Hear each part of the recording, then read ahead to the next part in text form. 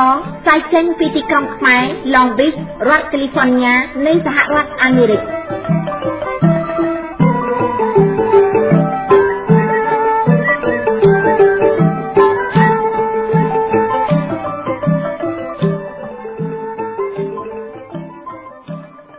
ចាពីរាជធានីភ្នំពេញនាងខ្ញុំសេងដេចស្មី រួមជាមួយសហការីផ្សាយសម្លេងនៃវិទ្យុខ្មែរប៉ុស្តិ៍សូមគោរពជំរាបសួរលោកលោកស្រីអ្នកនាងកញ្ញាទាំងអស់ជាទីមេត្រី ចាថ្ងៃនេះជាថ្ងៃ900ខែបោះឆ្នាំម្សាញ់បញ្ញស័កពុទ្ធសករាជ2557ត្រូវនៅថ្ងៃសុក្រទី24ខែមករាគ្រិស្តសករាជ2014ចាសម្រាប់កម្មវិធីផ្សាយរបស់វិទ្យុខ្មែរប៉ុស្តិ៍ប្រចាំថ្ងៃសុក្រទី24ខែមករានេះនាងខ្ញុំសូមជូនមេតិការរឿងរួមមាន មន្ត្រីជាន់ខ្ពស់គណៈបកសង្គ្រោះជាតិគណៈបកសំរងស៊ីនិងប្រជាពលរដ្ឋរស់នៅសហរដ្ឋអាមេរិកបាននាំយកថវិកាមួយចំនួនទៅចែកជូនជនរងគ្រោះក្រុមគ្រួសារសពនិងក្រុមគ្រួសារអ្នកចាប់ពន្ធនាគារនៅទីស្នាក់ការគណៈបកសង្គ្រោះជាតិចាក់អង្រេលើ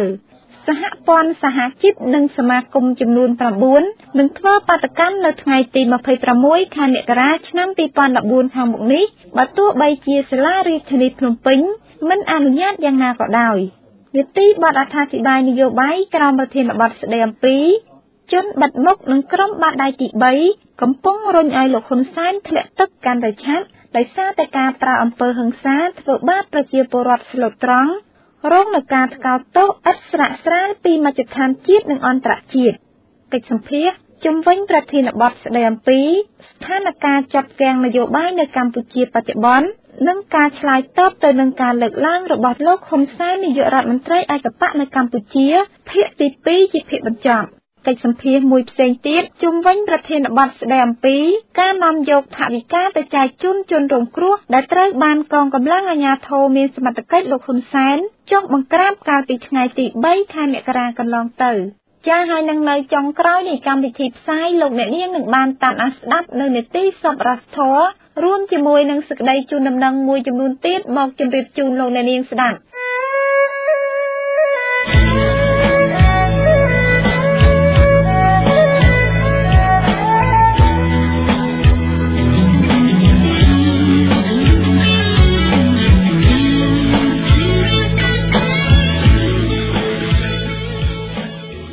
ចាលំដាប់តទៅនេះសូមជូនព័ត៌មានពិស្ដា មន្ត្រីជាន់ខ្ពស់គណៈបកសង្គ្រោះជាតិគណៈបកសំរងស៊ីនិងប្រជាពលរដ្ឋរស់នៅសហរដ្ឋអាមេរិកបាននាំយកថវិកាមួយចំនួនទៅចែកជូនជនរងគ្រោះក្រុមគ្រួសារសពនិងក្រុមគ្រួសារអ្នកចាប់ពន្ធនាគារនៅទីស្នាក់ការគណៈបកសង្គ្រោះជាតិចាក់អង្រេលើ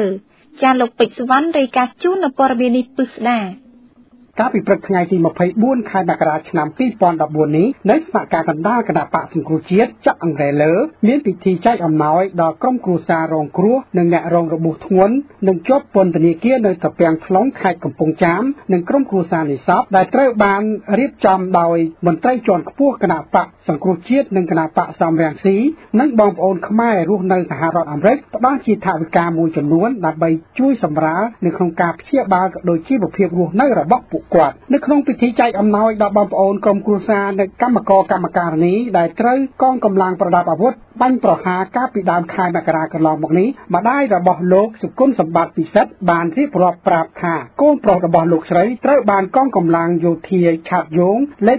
911បានវាយទៅលើរូបកូនរបស់លោកស្រី នៅពេលដែលលោកសុគន្ធសម្បត្តិពិសិដ្ឋបានចុះយកព័ត៌មាន និងថតរូបព្រោះថាលោកសុគន្ធសម្បត្តិពិសិដ្ឋជាមន្ត្រីអង្គការ Clary បានចុះផ្ទាល់ទៅកន្លែងកើតហេតុនៅតំបន់សេដ្ឋកិច្ចពិសេសត្រូវបានគេវាយឲ្យបាក់ម្រាមដៃ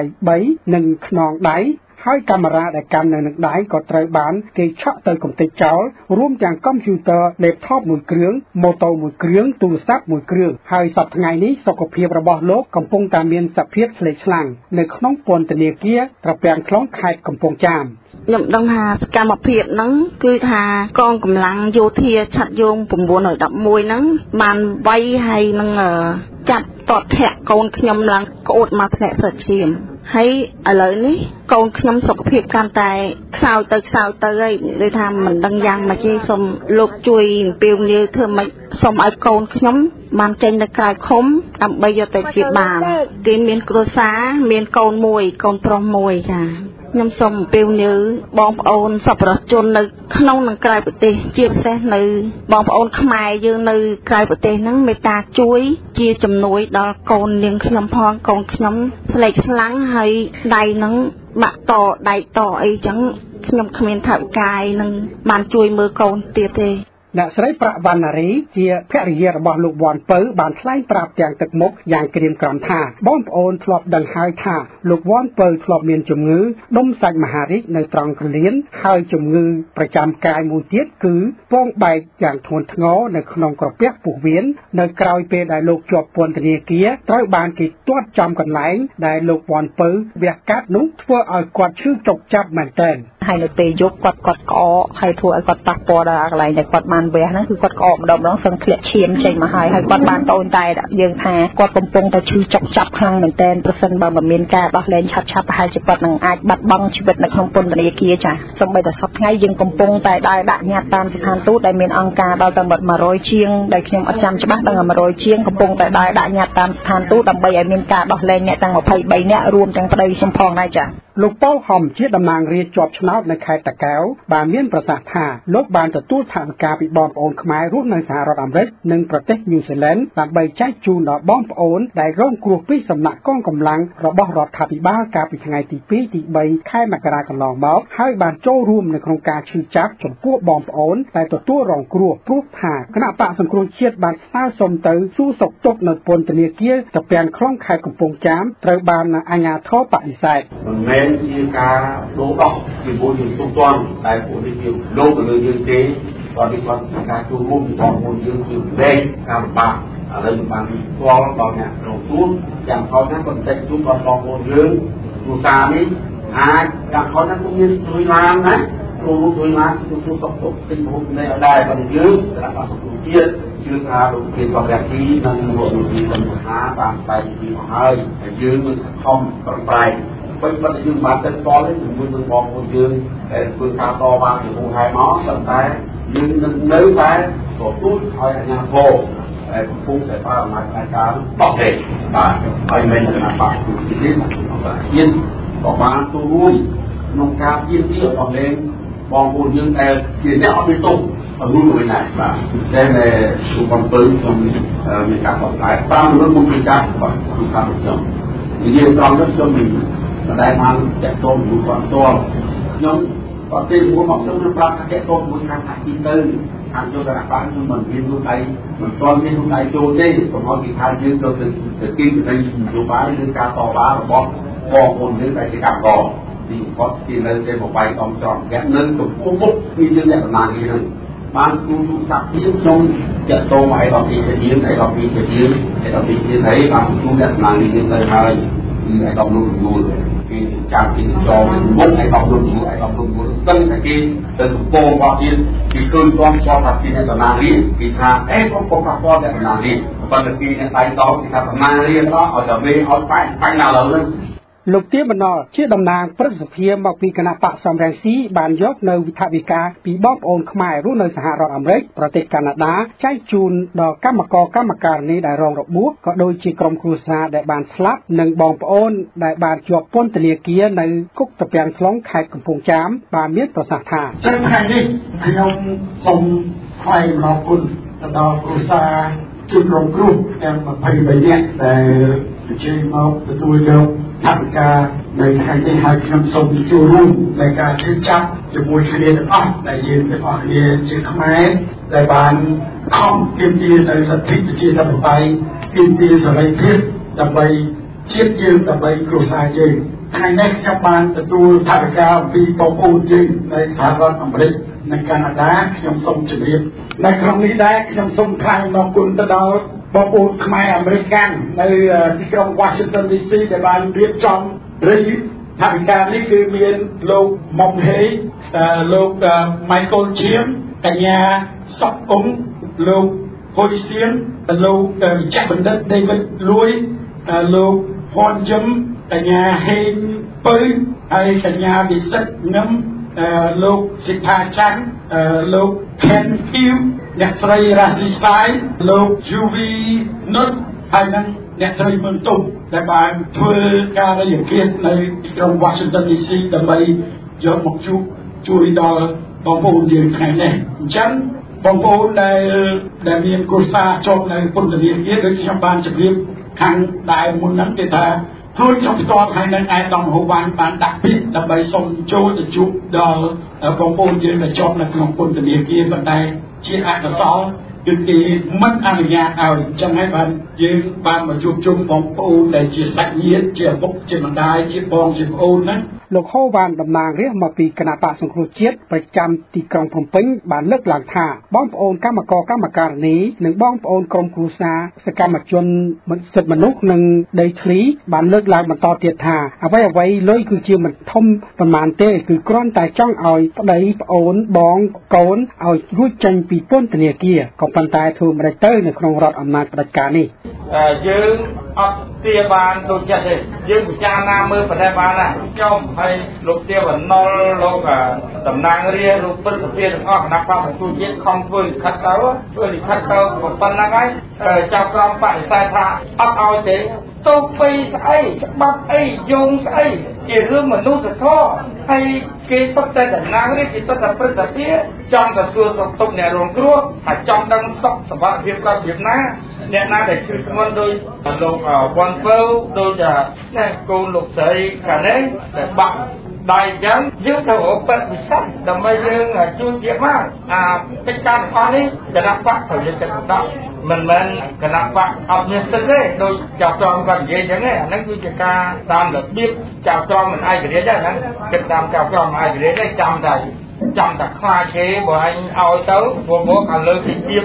មិនអីមិនអត់ទឹកទឹកយើងគាត់យើងមានទៅដល់លេងណាយើងគាត់ទៅសួរតុកតុករបស់គាត់ណា អាហ្នឹងគឺអមនុស្សធម៌បងណាមិនមែនតែខុសច្បាប់ទេ អមនុស្សធម៌ទេរបៀបហ្នឹងគឺអត់បានអញ្ចឹងបានយើងខ្ញុំនៅតែជឿទេលោករ៉ារីសេងជាពលរដ្ឋរស់នៅសហរដ្ឋអាមេរិកហើយគាត់ជាសមាជិកគណៈបកសង្គ្រោះជាតិប្រចាំសហរដ្ឋអាមេរិករដ្ឋ Washington State បានលើកឡើងថាខ្សែនរន្ធត់ក្រៃលែងនៅពេលដែលឃើញទស្សនវិជ្ជាអណោចអធមនៅពេលដែលរដ្ឋាភិបាលបំពេញមកលើជាតិខ្លួនឯងមិនគួរឲ្យលើកដៃបាញ់ប្រហារមកលើកម្មករកម្មការនេះដែលគ្រាន់តែទាមទារប្រាក់បៀវត្ស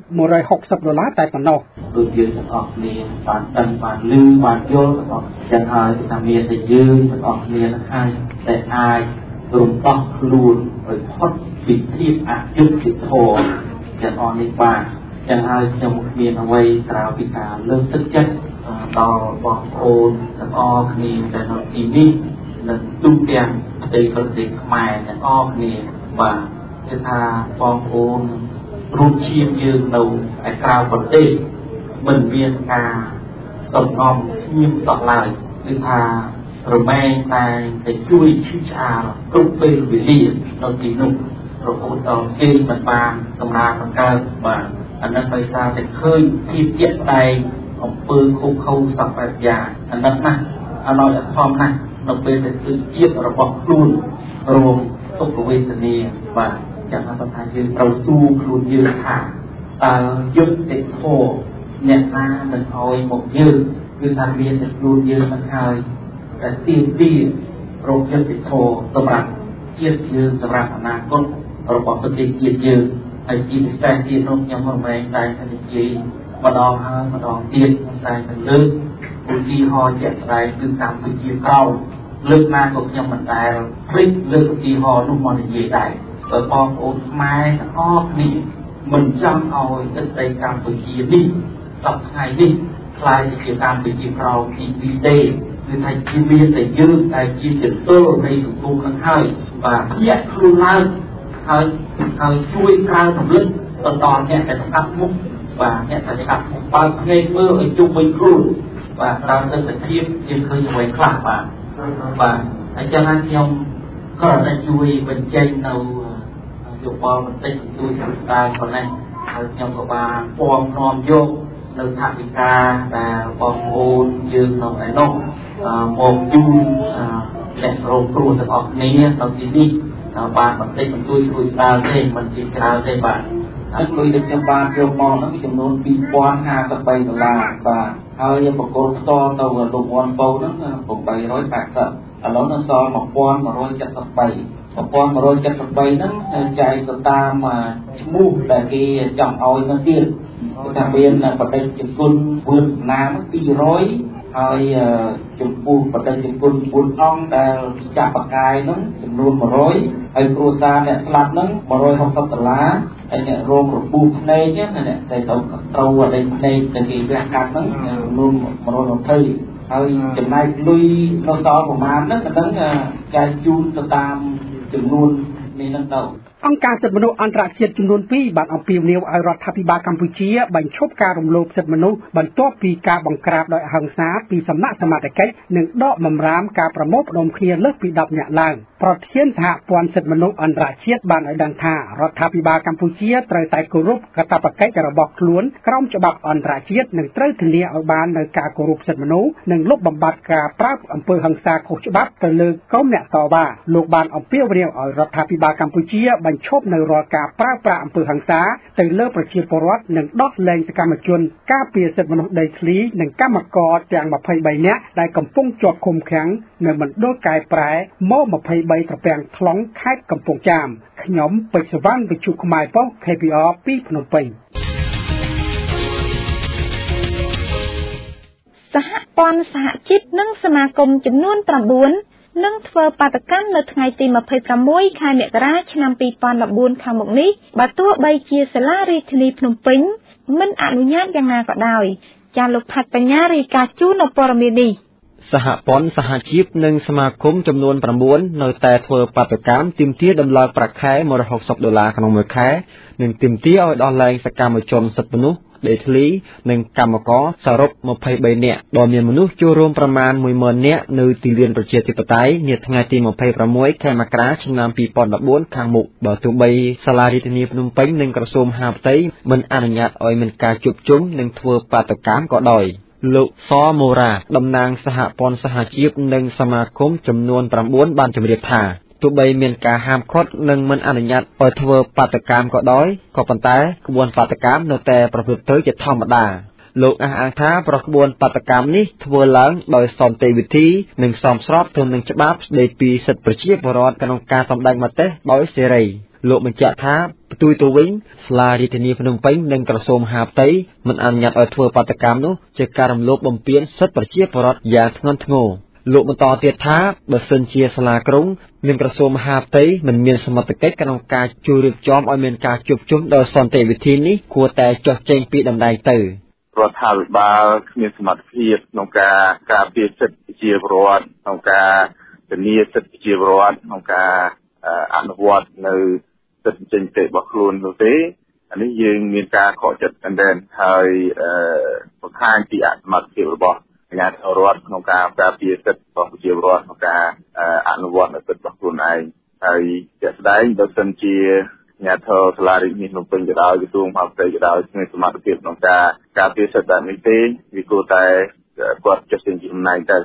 លោកបានបន្តថាការធ្វើបាតកម្មនេះនឹងប្រព្រឹត្តទៅនៅថ្ងៃទី26ខែមករាឆ្នាំ2014ចាប់ពីម៉ោង7ព្រឹកដល់ម៉ោង5ល្ងាចដោយមានមនុស្សចូលរួមប្រមាណ10000នាក់ជួបជុំគ្នានៅទីលានវិជាធិបតេយ្យក្នុងគូបំណងទាមទារឲ្យដំឡើងប្រាក់ខែ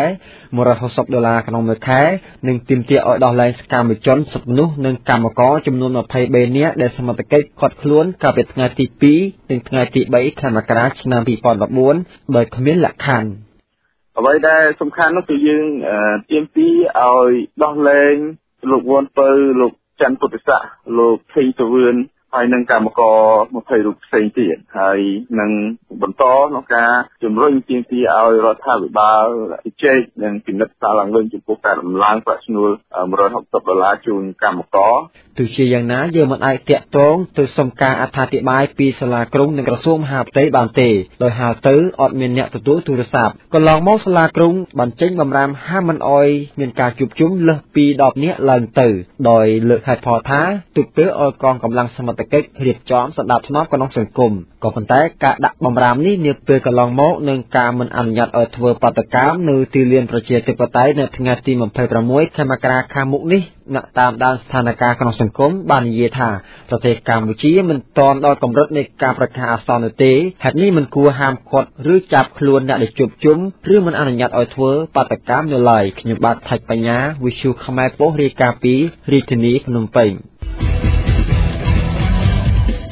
ស្ដាប់វិទ្យុខ្មែរប៉ុស្តិ៍ដល់ជួយនៅព័ត៌មានពិតដែលកើតមានឡើងថ្មីៗនៅក្នុងប្រទេសកម្ពុជា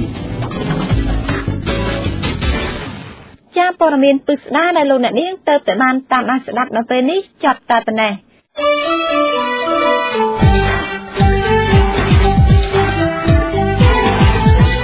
លោកអ្នកកំពុងស្ដាប់វិទ្យុខ្មែរប៉ុស្តិ៍តែជាពីក្រុងឡុងបិចរដ្ឋកាលីហ្វ័រញ៉ាសហរដ្ឋអាមេរិក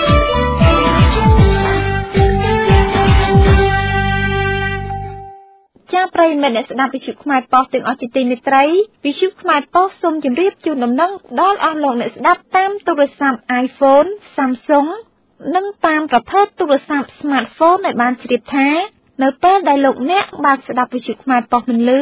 សូមមេត្តាលុបចោលលើកម្មវិធីដែលមានស្រាប់នៅលើទូរស័ព្ទរបស់លោកអ្នកហើយបន្តមកទៀតដោនឡូតសារជាថ្មីនៅកម្មវិធីដដែលនេះដូច្នេះលោកអ្នកនាងនឹងបានស្ដាប់ឮវិទ្យុខ្មែរប៉ុស្តិ៍ដូចធម្មតាវិញ។ ម្យ៉ាងវិញទៀតបើសិនជាលោកអ្នកមិនចង់លុបចោលលើកម្មវិធីដែលមានស្រាប់នៅក្នុងទូរស័ព្ទរបស់លោកអ្នកនោះទេវិទ្យុខ្មែរប៉ុស្តិ៍សូមជម្រាបថាលោកអ្នកត្រូវតែអាប់ដេតនៅកម្មវិធីនេះឡើងវិញសូមអរគុណ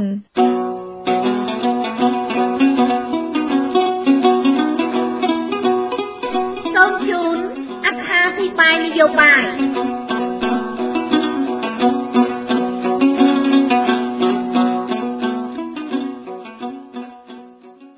ប្រិមិត្តអ្នកស្ដាប់វិទ្យុខ្មែរប៉ុស្តិ៍ទាំងអស់ជាទីមេត្រីកាលពីម្សិលមិញលោកអ្នកនាងបានស្ដាប់រួចមកហើយនៅនេតិបទអត្ថាធិប្បាយមួយដែលជម្រាបជូនដោយលោកអ៊ុតសុខាក្រមប្រធានបទជំវិញលោកហ៊ុនសែនកាន់តែក្រពុលមុខនៅពេលដែលបាត់បង់ការគ្រប់គ្រងពីប្រជាពលរដ្ឋចាដែលនៅថ្ងៃនេះដែរលោកអ៊ុតសុខាក៏មានបទអត្ថាធិប្បាយថ្មីមួយផ្សេងទៀតជំវិញប្រធានបទស្ដីអំពីជនបាត់មុខនឹងក្រុមបាតដៃទី3កំពុងរញឲ្យលោកហ៊ុនសែនធ្លាក់ទឹកកាន់តែឆាប់ ដោយសារតែការប្រើអំពើហិង្សាធ្វើបាបប្រជាពលរដ្ឋស្លូតត្រង់រងនឹងការថ្កោលទោសឥតស្រាកសាលពីមជ្ឈដ្ឋានជាតិនិងអន្តរជាតិចាថាតើនេតិបទអត្ថាធិប្បាយនយោបាយដែលជម្រាបជូនដល់លោកអ៊ុតសុខាខាងលើមានខ្លឹមសារយ៉ាងណានោះសូមអញ្ជើញលោកអ្នកនាងមកតាមដានស្ដាប់ដូចតទៅសម្រាប់ជើងរបស់អ្នកស្រឡាញ់យុត្តិធម៌និងអ្នកតស៊ូដើម្បីសិទ្ធិសេរីភាពបានคล้ายទៅជាបទភ្លេងប្រជាធិបតេយ្យដ៏ពិរោះរណ្ដំចិត្ត សម្រាប់ប្រជារាស្ត្រខ្មែរទូទៅ ដែលកំពុងស្រេកឃ្លានក្នុងការផ្លាស់ប្តូរមេដឹកនាំព្រោះថាការប្រើប្រាស់ជនបិទមុខនិងក្រុមបាតដៃទី3មកអុកលុករំខានការសម្ដែងមតិតវ៉ានិងចាប់ខ្លួនសកម្មជនកំពុងរងនឹងការថ្កោលទោសជំទឺប៉ុន្តែมันអាចរារាំងការទប់ស្កាត់មិនឲ្យប្រជាពលរដ្ឋក្រោកឈរឡើងធ្វើការតស៊ូមតិតាមបែបសន្តិវិធីនោះទេយ៉ាងណាក៏ដោយក្រុមបាតដៃទី3 និងជនបិទមុខដែលត្រូវបានប្រើប្រាស់ក្នុងការរំខានឬប្រើអំពើហិង្សាលើប្រជារាស្ត្រស្លូតត្រង់ត្រូវបានសហគមន៍អន្តរជាតិស្កោតទោសកាន់តែខ្លាំងឡើងខ្លាំងឡើងពីមួយថ្ងៃទៅមួយថ្ងៃហើយប្រសិនបើក្រុមអ្នកក្រាញអំណាចនៅតែប្រើប្រាស់ក្រុមជនបិទមុខនិងក្រុមជនបាតដៃទី3ឲ្យប្រព្រឹត្តអំពើមិនគប្បីបែបនេះតទៅទៀតមិនខុសពីការរុញច្រានលោកហ៊ុនសែនឲ្យធ្លាក់ទឹកកាន់តែជ្រៅឆាប់ៗនោះទេ នៅមុខស្ថានទូតបរទេសនានាគេសង្កេតឃើញសកម្មជនប្រជាពលរដ្ឋនាំគ្នាយកញត្តិទៅសុំអន្តរាគមន៍ឲ្យមានការដោះលែងជនសូត្រង់ចំនួន23នាក់ដែលត្រូវបានចាប់ខ្លួនដោយអយុត្តិធម៌ក្នុងហេតុការណ៍បង្ក្រាបដោយហិង្សាកាលពីថ្ងៃទី2ទី3ខែមករាឆ្នាំ2014កន្លងទៅ ហើយសកម្មភាពនេះ នៅតែបន្តធ្វើរហូតទាល់តែបានជោគជ័យនិងមានការដោះលែងជនសូត្រង់ទាំង23នាក់ឲ្យមានសេរីភាពឡើងវិញ។ បើទោះបីជាមានការរារាំងរំខានបែបណាក៏ដោយក៏មិនអាចបំបែកបំបាក់ស្មារតីនិងភាពក្លាហានរបស់សកម្មជនបានឡើយស្ថានទូតបរទេសធំធំនៅទីក្រុងភ្នំពេញបានឈឺក្បាលវិលមុខដោយសារតែក្រុមអ្នកក្រាញអំណាចពុំមានឆន្ទៈដោះស្រាយបញ្ហារបស់ប្រជាពលរដ្ឋហើយពីមួយថ្ងៃទៅមួយថ្ងៃញត្តិដែលប្រជាពលរដ្ឋខ្មែរសូមអន្តរាគមន៍ពីស្ថានទូតបរទេសក៏ដូចភ្នំ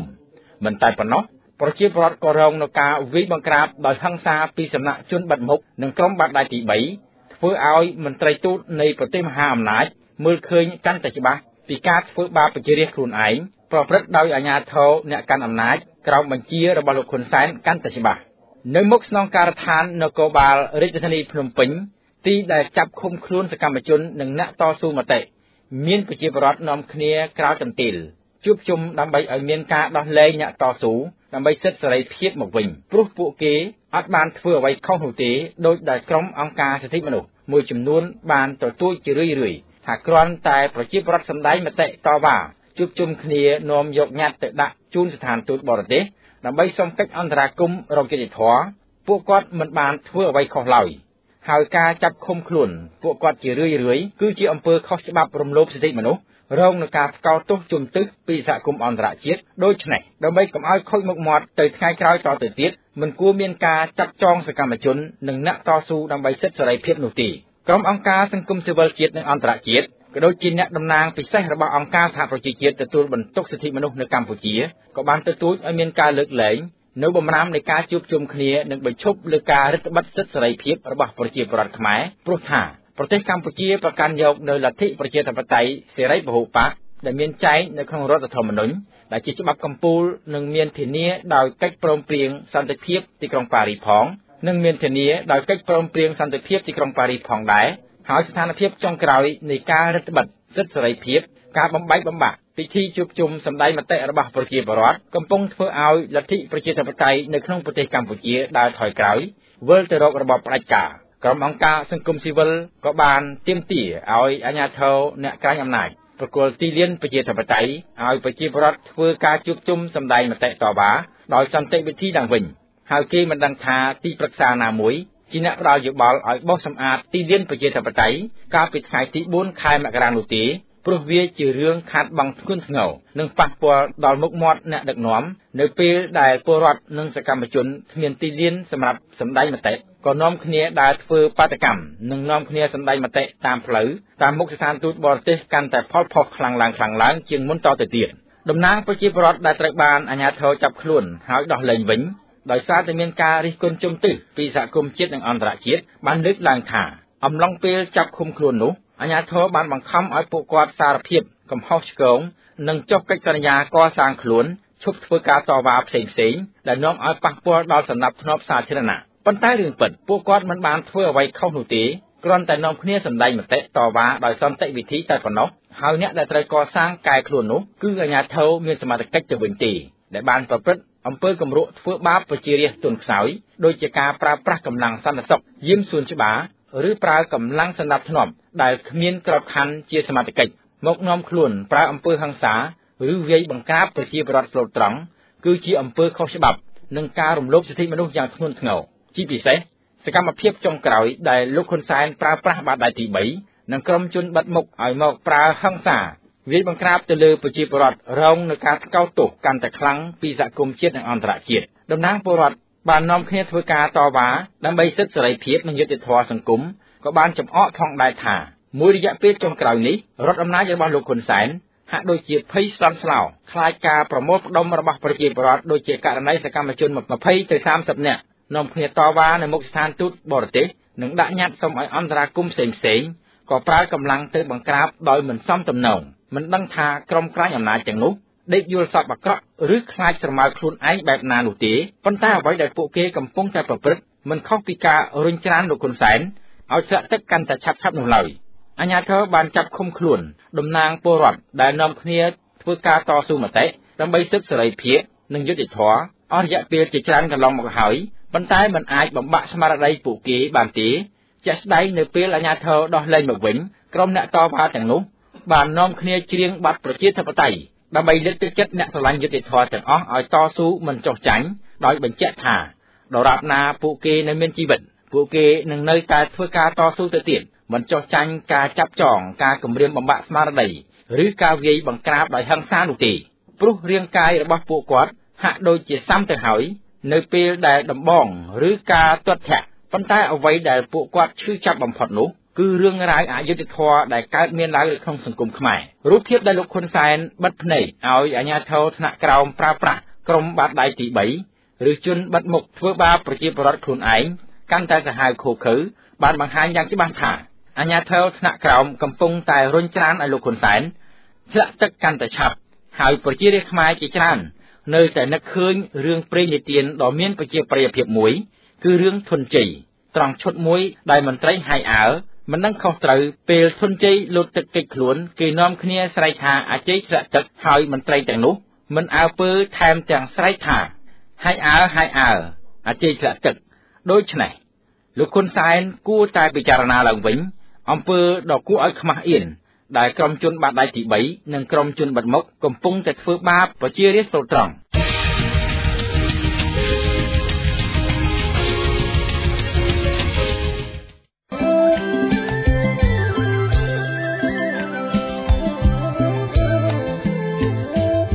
សេចក្តីជូនដំណឹងនៅថ្ងៃសៅរ៍ទី25ខែមករាចុងសប្តាហ៍ខាងមុខនេះនៅវេលាម៉ោង9ព្រឹកដល់ម៉ោង2រសៀលក្រុមការងារនៃគណៈបកសង្គ្រោះជាតិប្រចាំទីក្រុង Chicago រដ្ឋ Illinois នឹងប្រារព្ធពិធីបុណ្យរំលឹកវិញ្ញាណក្ខន្ធដល់វីរៈបាតុករខ្មែរយើងដែលបានបាត់បង់អាយុជីវិតដោយសារតែធ្វើការទាមទារនៅសិទ្ធិសេរីភាពរបស់ខ្លួនដើម្បីជីវិតគ្រួសារ ត្រូវបានកងកម្លាំងប្រដាប់អាវុធរដ្ឋាភិបាលបាញ់សម្លាប់អាស្រ័យហេតុនេះយើងខ្ញុំសូមអំពាវនាវដល់បងប្អូនសប្បុរសជនខ្មែររស់នៅទីជិតឆ្ងាយសូមមេត្តាអញ្ជើញចូលរួមក្នុងកម្មវិធីបុណ្យនេះឲ្យបានច្រើនកុះកកន្លែងប្រារព្ធពិធីបុណ្យនៅវត្តខេមរារាមហៅវត្តចាស់សម្រាប់ព័ត៌មានបន្ថែមសូមទំនាក់ទំនងលោកតុងអ៊ីវទូរស័ព្ទលេខ7 73 698 02 62លោកដាវីហ៊ុយទូរស័ព្ទលេខ630 201 88 99អ្នកស្រីសាវេតកើតទូរស័ព្ទលេខ224 622 79 09លោកម៉ារ៉ាឈិនទូរស័ព្ទលេខ847 903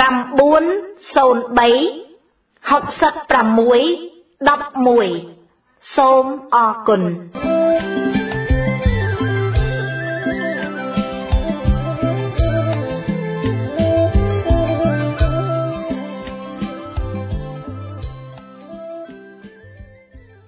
បនផ្កាប្រាក់តាមគី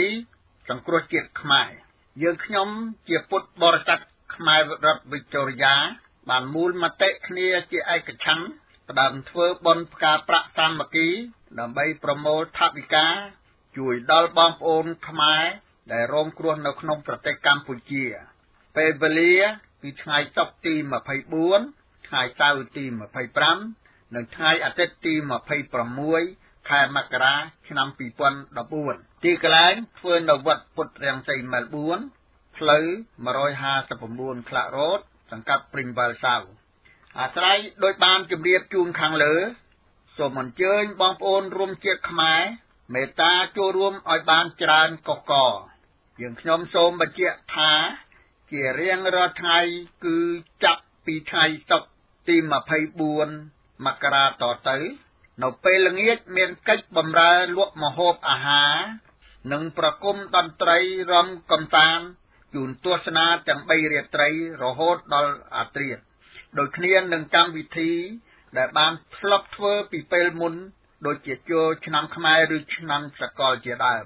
ចំពោះព័ត៌មានបន្ថែមសូមមេត្តាតាកតងអ្នកស្រីស្រឹមអេងទូរស័ព្ទលេខ04 7គាត់7គាត់72 87អ្នកស្រីពៅចិន្តាទូរស័ព្ទលេខ04 01 22 78 86អ្នកស្រីគឹមរឿនទូរស័ព្ទលេខ95 59 73 76អ្នកស្រីមៀចសុផាន់ទូរស័ព្ទលេខ04 50គាត់01 78 22 អ្នកស្រីម៉ាលីទូរស័ព្ទលេខ95 74 12 81អ្នកស្រីប៊ុនថាសេងទូរស័ព្ទលេខ04 33 56 14សូមអរគុណ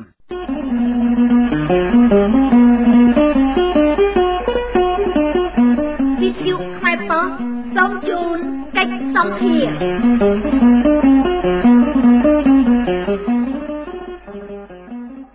ភារចាលោកនាងស្ដាប់ជាទីមេត្រីសូមអញ្ជើញលោកនាងមកតាមដានស្ដាប់នៅកិច្ចសម្ភារក្រោមប្រធានបទស្ដីអំពីស្ថានភាពចាប់ក្រាំងនយោបាយបច្ចុប្បន្ននៅកម្ពុជា និងការឆ្លើយតបទៅនឹងការលើកឡើងរបស់លោកហ៊ុនសែននាយករដ្ឋមន្ត្រីឯកបៈនៅកម្ពុជាចាដែលកិច្ចសម្ភារខាងលើនេះរៀបចំកម្មវិធីសម្របសម្រួលដោយលោកអ៊ុតសុខានិងវិលក្មិនបានផ្ដល់កិត្តិយសពីលោកសុនឆៃ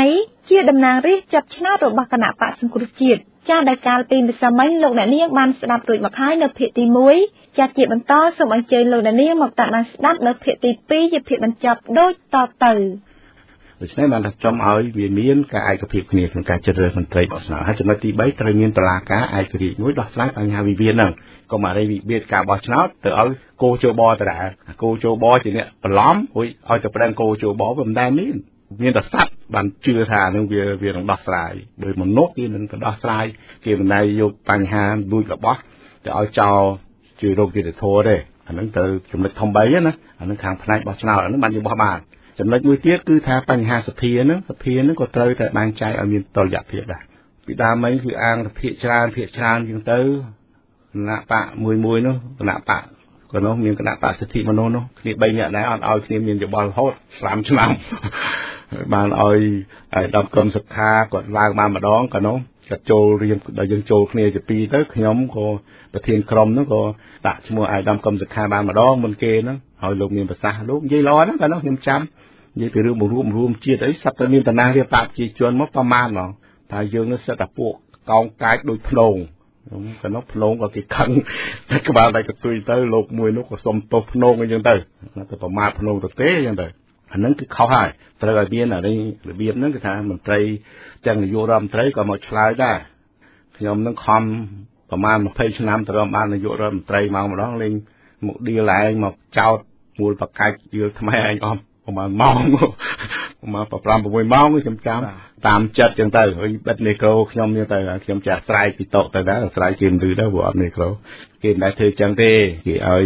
មានអ្នកសួរអ្នកអីទៅហើយបើថាវាធ្វើខុសធ្ងន់នឹងទៅ យើងអាច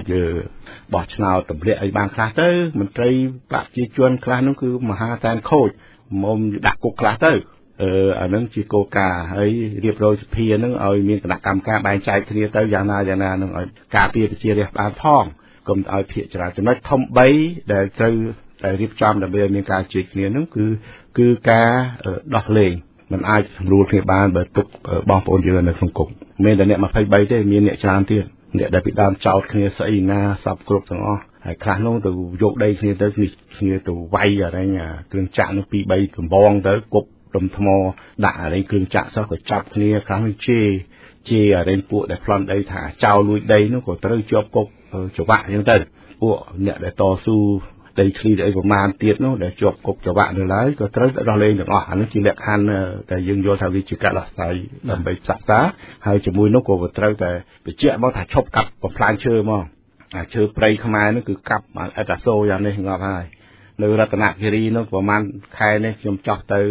កាប់តែមន្ត្រីខេត្តនោះក៏ទៅកាប់ដែរនាំគ្នាទៅកាប់ដណ្ដើមគ្នាគាត់អារែងរដ្ឋាភិបាលឯកបៈនេះ អត់មានបកប្រឆាំងអីហ្នឹងគឺថាឆ្លៀតឱកាសនោះទៅកាប់ដណ្ដើមគ្នាកាប់បំផ្លាញនោះតាមអំពើចិត្តនោះបំផ្លាញអត់ត្រូវតែកំណត់ថាឈប់កាប់ព្រៃខ្មែរយើងនៅសល់តិចតួចណាឈប់កាប់ហើយមានយន្តការពិតប្រកបអរិណាត្រីភាពត្រីអីនោះចាប់វារើទៅតឡាការចាប់មកដាក់គុកខ្លះទៅហើយលេងយូរទៅអានឹងដើរធ្វើផ្លេសផ្លាស់សម្បាមហើយនឹងការឈប់ផ្ដល់ដីសម្បត្តិ99ឆ្នាំដែរ មិនត្រឹមតែឈប់ទេត្រូវព្រមព្រៀងថាពិនិត្យឡើងវិញមើលដីខ្លះដែលកាប់ឈើអស់ហើយទុកចោលគឺនៅប្រជារាស្ត្រយកគោកបីទៅស៊ីកំបាននៅកំបាននោះយកឲ្យប្រជារាស្ត្រវិញទៅឬក៏ទុក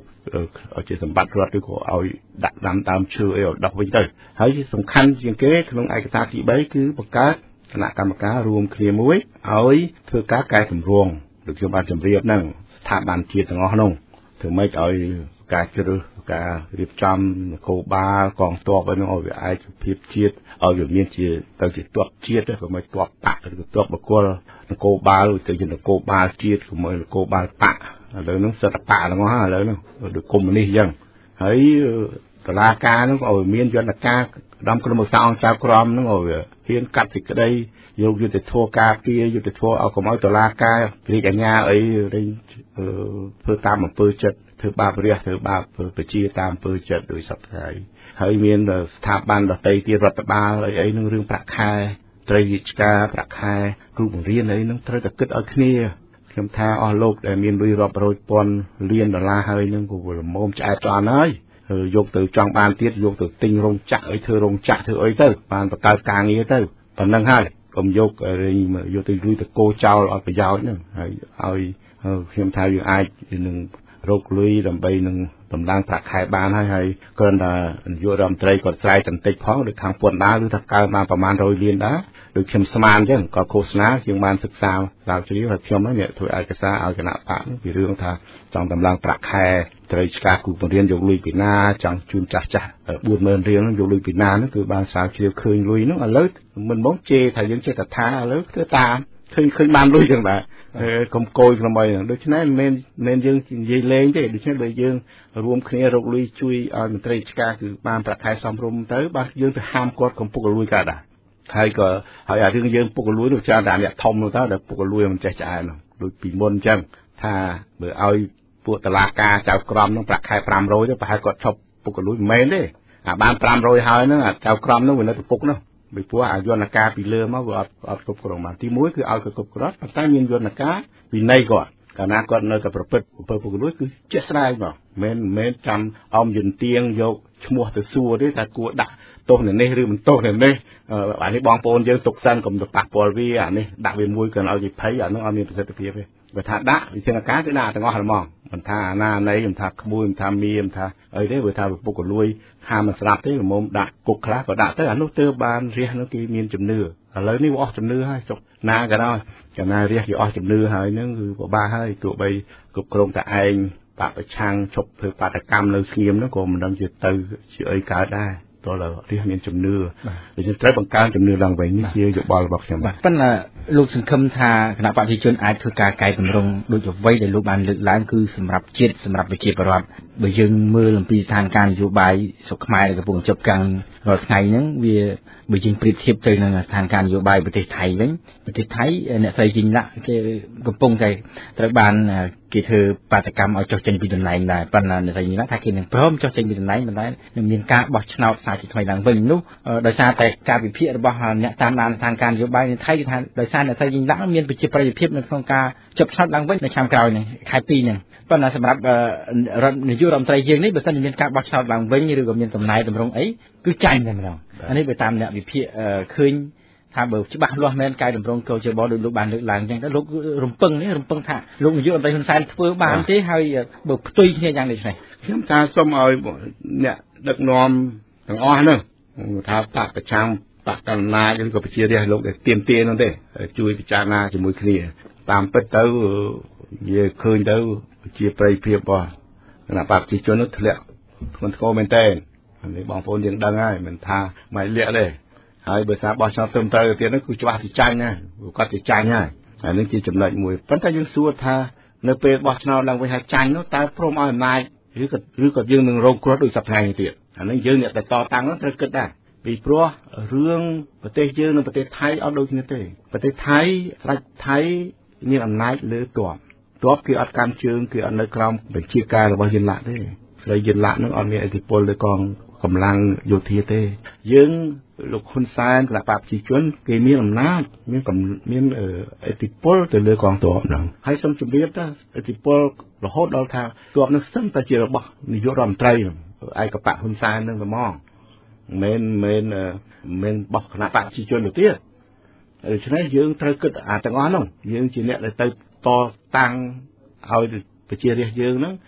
ក៏ត្រូវយល់ឲ្យអស់ឲ្យច្បាស់ដូច្នេះវាត្រូវតែកែអាហ្នឹងសិនត្រូវរកវិធីសម្រួលគ្នាកែហើយយើងសួរចេះទៅវិញទី1គឺកម្លាំងទ័ពមកទល់ថ្ងៃនេះគឺនៅតែជាកម្លាំង របស់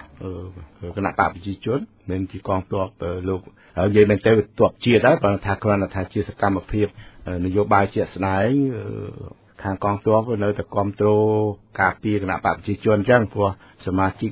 សំខាន់សំខាន់នៅក្នុងកងទ័ពគាត់ជាសមាជិករបស់បករបស់គាត់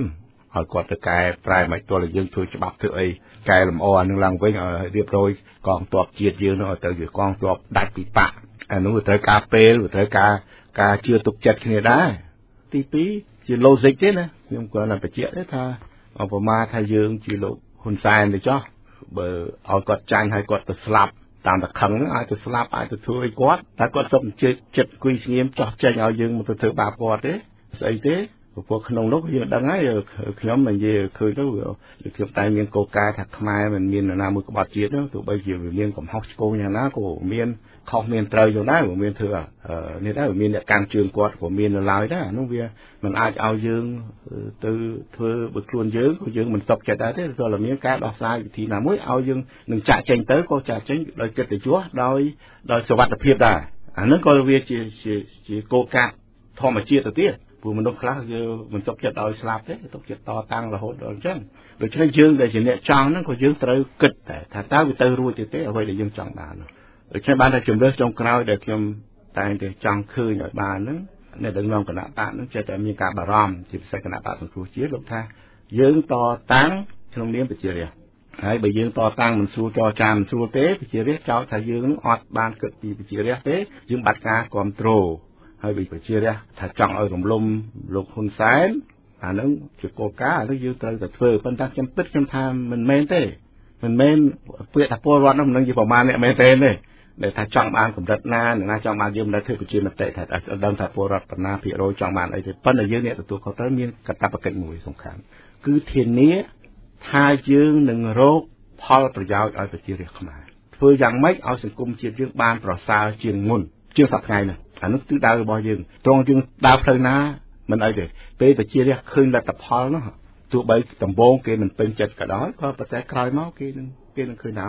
អ្នកដឹកនាំនេះឆ្លៀសវៃមែន ទី1គឺការការពារមិនឲ្យពលរដ្ឋលោកបាត់បង់ជីវិត ទី2អាចនាំទៅរកការផ្សះផ្សាជាតិពិតប្រាកដមួយ ទី3គឺផលប្រយោជន៍ជាតិនោះគឺបានធានាត្រឹមត្រូវ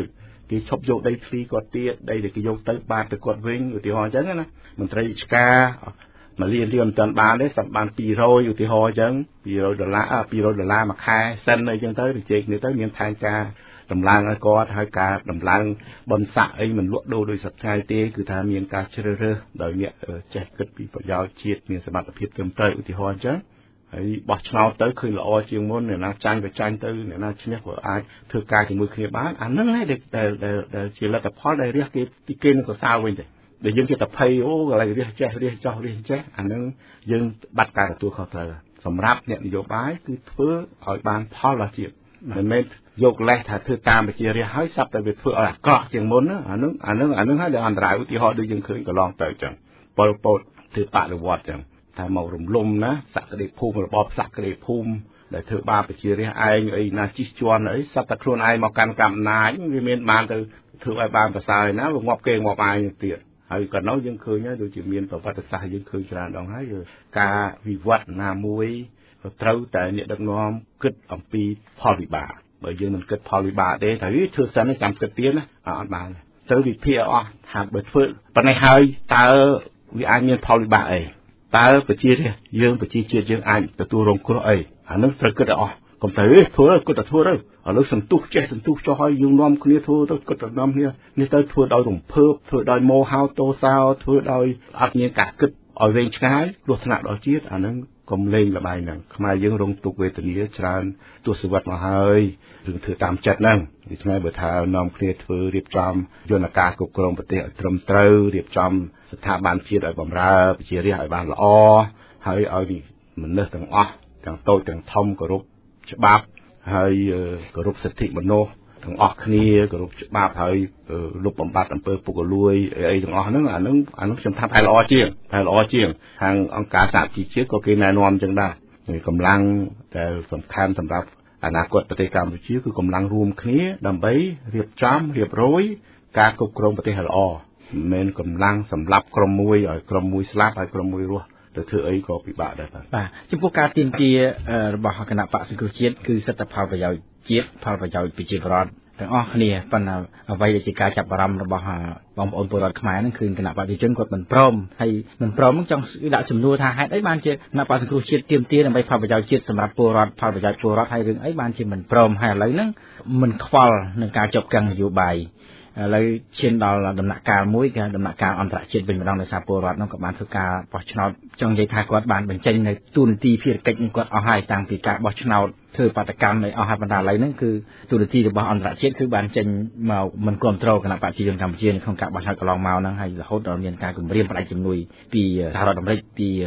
សហគមន៍អឺរ៉ុបទៀតផង ប៉ុន្តែដំណើរការនេះឃើញគណៈបព្វជិជនកម្ពុជាដូចជាមិនខ្វល់ចំណុចមានការគម្រាមកំហែងដាក់ទណ្ឌកម្មអីផ្នែកសេដ្ឋកិច្ចអីណាដូច្នេះថាតើអាចកម្ពុជាបើសិនជាមិនខ្វល់នឹងជំនួយនៅបរទេសអាចវិលទៅក្រោយជារបបកុម្មុយនីសអីបានទីទីទៀតទេឬមួយយ៉ាងម៉េចគណៈបព្វជិជនអត់មានបានគិតរឿងនេះបាទវាវាអាចដែរហើយយើងកុំកុំកុំថាក៏មិនខ្វល់ក៏ខ្វល់តាមពិតសម្ដីតែនយោបាយមិនសូវឆ្លោះកាត់ពិតទេហើយកាលអ្នកនយោបាយខ្លះគាត់ភ័យរស់ព្រលឹងដែរព្រោះគាត់ថាគាត់អត់ភ័យ ដើម្បីធ្វើម៉េចលើកទឹកចិត្តឲ្យអ្នកគ្រប់គ្រងគាត់អាហ្នឹងវាជាធម្មតាទេក៏ប៉ុន្តែស្ថានភាពសប្តាហ៍នេះខ្ញុំជឿថាអ្នកដឹកនាំគណៈបកប្រជាជនមានការព្រួយបារម្ភមិនដែលជួបប្រទេសទេពីមុនមកបើយើងប្រៀបធៀបពីឆ្នាំ2008រហូតដល់2013ឆ្នាំ2013គឺជាភាពការមួយដែលស្លន់ស្លោភ័យបារម្ភដែរព្រួយបារម្ភហ្នឹងគឺព្រួយបារម្ភអស់អំណាចឬមួយក៏ព្រួយបារម្ភហ្នឹងត្រង់ថាអាច គាត់នៅព្រួយបារម្ភដូចដូចកើតបាត់ពិសោធន៍ឆ្នាំ2098 2003បន្ទាប់ពីការកាំងមកយើងដោះស្រាយហើយគណៈបព្វជិជនមុននឹងបាទខ្ញុំថាមិនដូចមុនទេបាទពីមុនយើងឃើញហើយវាមានការជាប់គាំងដោយសារច្បាប់ទេច្បាប់ក្នុងសភានឹងត្រូវការ2ភាគ3មកហើយវាមានការជាប់គាំងហើយបញ្ហាច្បាប់គេកែច្បាប់បានប៉ុន្តែលើកនេះជាប់គាំងដោយសារសន្ទុះឲ្យមានការផ្លាស់ប្ដូរពីប្រជារាស្ត្រខ្មែរសន្ទុះនេះអត់អត់ធ្វើបានទេអត់អត់អត់អាចកែច្បាប់បានទេ វាមានតែធ្វើម៉េចឲ្យគាត់ទុកចិត្តដូច្នេះវាមានការជជែកនឹងហើយត្រូវឲ្យគាត់ទុកចិត្តគណៈបកសង្គ្រោះជាតិនេះខំធ្វើនឹងធ្វើថាឲ្យរោគរូបមន្តជួយដែរជួយថាឲ្យគណៈបកប្រជាជននឹងធ្វើម៉េចឲ្យគាត់ទុកចិត្តដើម្បីយកអាលទ្ធផលនោះដែលយកមកឲ្យប្រជារាស្ត្រខ្លះអស់ចិត្តអានោះបានវាស្ងប់ចិត្តបានបានវាដោះស្រាយបានលើកនេះខុសពីរឿងមុនមុន ដូច្នេះបានជារឿងដែលខ្ញុំថាជារឿងដែលធំហើយបើសិនណាជានៅតែបន្តឲ្យមានការជីចាតនឹងហើយនៅតែពលរដ្ឋមានជំនឿថាប្រទេសកម្ពុជាអាចត្រឡប់ទៅកាន់របបកុម្មុយនីសវិញណាបបផ្ដាច់ការវិញអីហ្នឹងអានោះវាអាចនឹងនាំឲ្យសន្ទុះដូរស្លាប់ដូររស់នោះកាន់តែខ្លាំងទេអានោះខ្ញុំយល់អញ្ចឹងដូច្នេះខ្ញុំថាឥឡូវវាល្អបំផុតហើយវាមានការចាប់ផ្ដើមពីការលេងអ្នកទោសចេញមកប្រហែលអ្នកហ្នឹងហើយខាងអីដែលគេគាត់ក្រោកសុំតវ៉ាអី ទៅស្ថានទូតអីនោះកុំចិត្តទៅចាប់ហ្នឹងពួកខ្ញុំស្ដាប់ព្រឹកមិញខ្ញុំទៅបិណ្ឌលោកជាវិជាហ្នឹងឬពួកអង្គការដែលពាក់ព័ន្ធអីមួយចំនួនហ្នឹងគាត់ថាគាត់មិនខ្លាចទេគាត់ធ្វើទៀតគាត់បបួលនេះធ្វើទៀតហើយអានឹងអានឹងគឺដូចខ្ញុំនិយាយអញ្ចឹងកម្លាំងអាចគាត់ថយទៅគិតសិនដែលមានអំពើហិង្សាហ្នឹងគាត់អាចថយទៅគិតមើលសិនឬក៏ទៅ រកវិធីអីផ្សេងមិនមែនថាបោះបង់ចោលទេខ្ញុំអត់ជឿថាបោះបង់ចោលទេទៅរកគិតរកមកជួបបាយអីផ្សេងដើម្បីមកវិញទៀតដូច្នេះអឺបើចង់ឲ្យប្រទេសយើងនៅតែវិវត្តទៅជាបណ្ដាបណ្ដាជាប្រទេសបើកចំហមានសេរីភាពមានប្រជាធិបតេយ្យអី ត្រូវតែសម្រុះសម្រួលគ្នាអត់អាចធ្វើតាមចិត្តដូចលើកមុនបានទេអានោះត្រូវតែសម្រុះសម្រួលគ្នាសម្រុះសម្រួលសម្រុះសម្រួលបែបណាតាមបែបដូចខ្ញុំបានបញ្ជាក់អញ្ចឹងខ្ញុំបានបញ្ជាក់អញ្ចឹងគឺថាក្នុងការព្រមព្រៀងគ្នាទៅលើថាថាឲ្យមានការបោះឆ្នោតឡើងវិញអានឹងជាចំណុចមួយហើយក្នុងរយៈពេលដែលយើងពេលកែកែតម្រង់យន្តការបោះឆ្នោតនោះពាក្យថាយន្តការបោះឆ្នោតមានទាំងគោលយោបល់មានទាំងច្បាប់ពាក់ព័ន្ធឬមានទាំងវិធានការមួយចំនួនហើយក្នុងឱកាសនោះយើងនាំគ្នាសម្រួលការងារ ពង្រឹងស្ថាប័នមួយចំនួនដែរហើយក៏អាចធ្វើច្បាប់អីមួយទៅដើម្បីនឹងធានាដែរឧទាហរណ៍ថាបើថាមានសំណើខ្ញុំឬមានអ្នកស្នើដែរថាត្រូវមានឲ្យច្រកឲ្យមានអ្នកដឹកនាំមុនណាវាមានខុសមានត្រូវគាត់ថាបើថាលេងគាត់ចាញ់ឆ្នោតលេងយកគាត់ទៅដាក់គុកឯណាប្រហែលជាន់នោះអាណាគាត់ຕົកចិត្តឈប់ណា ដូច្នេះវាអាចត្រូវធ្វើច្បាប់អីមួយថាសម្រាប់ការពារសម្រាប់ការពារឧទាហរណ៍ណាកុំឲ្យយកទោសយកបីគាត់អាចដើម្បីឲ្យវាចប់អារឿងអាក្រក់ទៅយើងនាំគ្នាធ្វើអំពើល្អទៅណាអានោះក៏យើងគួរពិចារណាដែរដោយស្ថាប័នលើកឡើងថា ចុះបើបោះឆ្នោតលើកក្រោយទៀតបើគណៈបព្វជិជនចាញ់គាត់បោះឆ្នោតមិនប្រក្រតីទេទៅរំតែមានការបោះឆ្នោតត្រឹមត្រូវទៀតទៅចាញ់ទៀតទៅនៅទៅដល់នៅទៅដោះស្រាយបានឬអត់អានេះទំនួលប្រជារាស្ត្រគេសួរគ្រប់គ្នាស្ថានទូតអ្នកការទូតអន្តរជាតិក៏គេសួរយើងដូចគ្នាដែរថាញ៉ាំទាឲ្យបោះឆ្នោតឡើងវិញឲ្យកែគោចបោះឲ្យបោះឆ្នោតឡើងវិញអើបើបើបោះឆ្នោតមិនត្រឹមត្រូវផងលោកឯងឈ្នះប៉ុណ្ណឹងទៅហើយអាបោះឆ្នោតមែនតើលោកឯងឈ្នះតើលោកឯងជឿទៅលោកហ៊ុនសែនគាត់ចោះចេញទេ គេសួរមកយើងណាពិបាកពិបាកសំណួរនោះពិបាកដូច្នេះបានថាវាត្រូវមានយន្តការច្រើនទៀតហើយយន្តការបែបណាបើយើងមិនចូលប្រជុំសភាដើម្បីនោះហើយនោះហើយដូចជាសំណួរដូច្នេះបានថាគណៈបកសង្គ្រោះជាតិបានបន្ថយមកហើយដូចយើងយើងយើងដឹងណាយើងដឹងហើយយើងសុខចិត្តប្រឈមជាមួយប្រជាពលរដ្ឋចោះ ណាប៉ុន្តែកន្លងមកយើងបានទៅដល់សន្ទុះពលរដ្ឋក៏សុខចិត្តជាមួយអ្នកដឹកនាំគណៈបកសង្គ្រោះជាតិដែរថាគេមិនព្រមស្រាវជ្រាវរកការពិតទេឥឡូវបោះឆ្នោតឡើងវិញក៏សុខចិត្តពលរដ្ឋណាណាហើយឥឡូវមេដឹកនាំក៏សុខចិត្តហ៊ានមកជំនាញទៅទៀតថាបើគណៈបកប្រជាជនដូចខ្មាស់អៀនដែរថាបោះឆ្នោតឡើងវិញដូចជាពាក្យមិនសូវបរិសុទ្ធទេថាបោះឆ្នោតមុនអាណត្តិយើងសុខចិត្តទៅទៀតធម្មតាវាទៅតែមុនអាណត្តិហើយ នាយករដ្ឋមន្ត្រីឯកបៈហ៊ុនសែនហ្នឹងក៏លោកធ្លាប់មានប្រសាសន៍ដែរក៏ប្រជុំគ្នាថ្ងៃ16ខែកញ្ញាហ្នឹងថាលើកក្រោយយើងបោះឆ្នោតកុំឲ្យចំខែភ្លៀងណាយើងអាចមកជំនាន់អូនតាក់យើងចាំទេខែមីនាមានដល់ខែកក្កដាទេបាទប៉ុន្តែយើងយល់ថាគូជបគាត់រើមគាត់អឺគាត់នាយករដ្ឋមន្ត្រីកាលនោះយល់ថាបោះឆ្នោតខែកក្កដាភ្លៀងទៅបើស្រួលរញ៉េរញ៉ៃអីវាអាច ចំណេញគាត់អីចឹងណាប៉ុន្តែឥឡូវគាត់យើងបោះដូរពីខែកក្កដាត្រឡប់មកខែមីនាវិញយើងមុនអាណាតបាត់ហើយបើយើងមុនមួយឆ្នាំហើយចឹងទៅរៀបរយឡើងវិញទៅឲ្យប្រទេសជាតិយើងមានការកក់ក្ដៅទៅហើយក្នុង3 4ឆ្នាំយើងធ្វើការជាមួយគ្នាទៅដូចខ្ញុំនិយាយចឹងបើយើងបោះបង់ចោលអរិញចរិតជាអ្នកដឹកនាំផ្ដាច់ការចរិតបំផ្លិចបំផ្លាញជាតិហើយនាំគ្នាមកគិតពីរឿងផលប្រយោជន៍ជាតិខ្ញុំថាដូចអត់អីទេយើងអាចស្គាល់គ្នាបានទុកចិត្តគ្នាបានច្រើនបាទ អានឹងវាចាប់ដោះស្រាយបានហើយណាចាញ់ណាឈ្នះយើងជឿថាអត់អីទេឬក៏ប្រគល់ធម្មតាទេគេបោះឆ្នោតហើយគេទៅជេរគ្នាតាយើងប្រធានព្រឹទ្ធសភាប្រធានរដ្ឋសភាមកកណូនោះចាយគ្នាធ្វើការទៅគណៈកម្មការកម្មត្រូវគ្នាសុខគ្នាគ្នាកំ pl ាញ់ផលប្រយោជន៍ជាតិហ្នឹងមិនអីយើងធ្វើការដើម្បីជាតិវាមិនជាបញ្ហា អរគុណលោកសុនឆៃដែលបានលើកឡើងថាយើងធ្វើការដើម្បីជាតិត្រូវការមានការធ្វើការចរចាគ្នាដើម្បីដោះស្រាយនៅបញ្ហាប៉ុន្តែក្រមអ្នកវិភាគមួយចំនួនគេមើលឃើញអំពីនយោបាយរបស់លោកនាយករដ្ឋមន្ត្រីហ៊ុនសែនគឺជារណត្តិមកគាំងនឹងការបោះឆ្នោតតាំងពីមិនទាន់ដូរ ពី2ភាគ3មក50%បូក1ក៏ត្រូវក៏គាំងដែរតែគាំងគឺគាំងអាចស្លាប់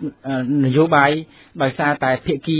ម្ខាងនឹងចង់សម្លាប់ប៉ុន្តែច្រើនតែភាគីម្ខាងទៀតហ្នឹងអនុគ្រោះឲ្យរស់ដូចជាសម្ដេចក្រមព្រះនរោត្តមរណរដ្ឋគណៈបព្វពេញអញ្ចឹងដូច្នេះម្ដងនេះក្រុមអ្នកវិភាគគេបានមើលឃើញថាការស្លាប់រស់ជីវិតនយោបាយរបស់លោកហ៊ុនសែនគឺនៅលើកណ្ដាប់ដៃគណៈបកសង្គ្រោះជាតិមានន័យថាអាច គណៈបក្សសង្គ្រោះជាតិសម្របសម្រួលឬក៏ធ្វើកិច្ចការងារណាមួយឲ្យលោកហ៊ុនសែនធ្វើកិច្ចការងារនឹងបន្តទៀតអញ្ចឹងតើក្នុងន័យនេះតើលោកអាចបកស្រាយបានទេថានៅក្នុងឱកាសឱកាសនេះគេចាត់ទុកថាជាឱកាសមាសព្រោះមានការសម្ពាធពីអន្តរជាតិផងពីប្រជាពលរដ្ឋនេះផងថាតើអាចរុញគាត់ទៅយ៉ាងម៉េចឲ្យស្រួលដោះស្រាយបញ្ហាហ្នឹងហើយជ្រើសរើសមេដឹកនាំថ្មីនឹងបាន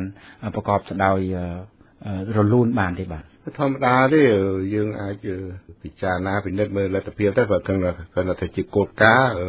ឱកាសហ្នឹងវាថាឱកាសខ្ញុំមិនជឿថាលើកមុនបានទេនៅតែមិនបានគ្រាន់ថាការបំណងថាទុកយូរទៅទៅលោកហ៊ុនសែនគាត់អាចនឹងធ្លាក់ពីតំណែងអីហ្នឹងខ្ញុំថាដូចជាមិនពិតទេវាគ្រាន់តែថារាល់ករណីហ្នឹងគឺថាវាមានការដោះស្រាយមួយដែលអត់បានយកគោលការណ៍ជាតិជាធំនិយាយតែពីរឿងចែកអំណាចគ្នាចប់បាត់ហើយនោះ ទៅយកអំណាចទៅលក់ទៅដូរទៅបែកម៉ាំពេញហ្នឹងទៅហើយខ្ញុំមិនជឿថាបញ្ហាលើកមុនលើកមុននោះវាអាចឈានទៅដល់បើ93អានោះខ្ញុំបាននិយាយបានកាលនោះយើងមានអង្គការសហប្រជាជាតិនៅជាមួយយើងណាកាលនោះយើងមានអបគុំមានអីមែនប៉ុន្តែបើយើងរឹងយើង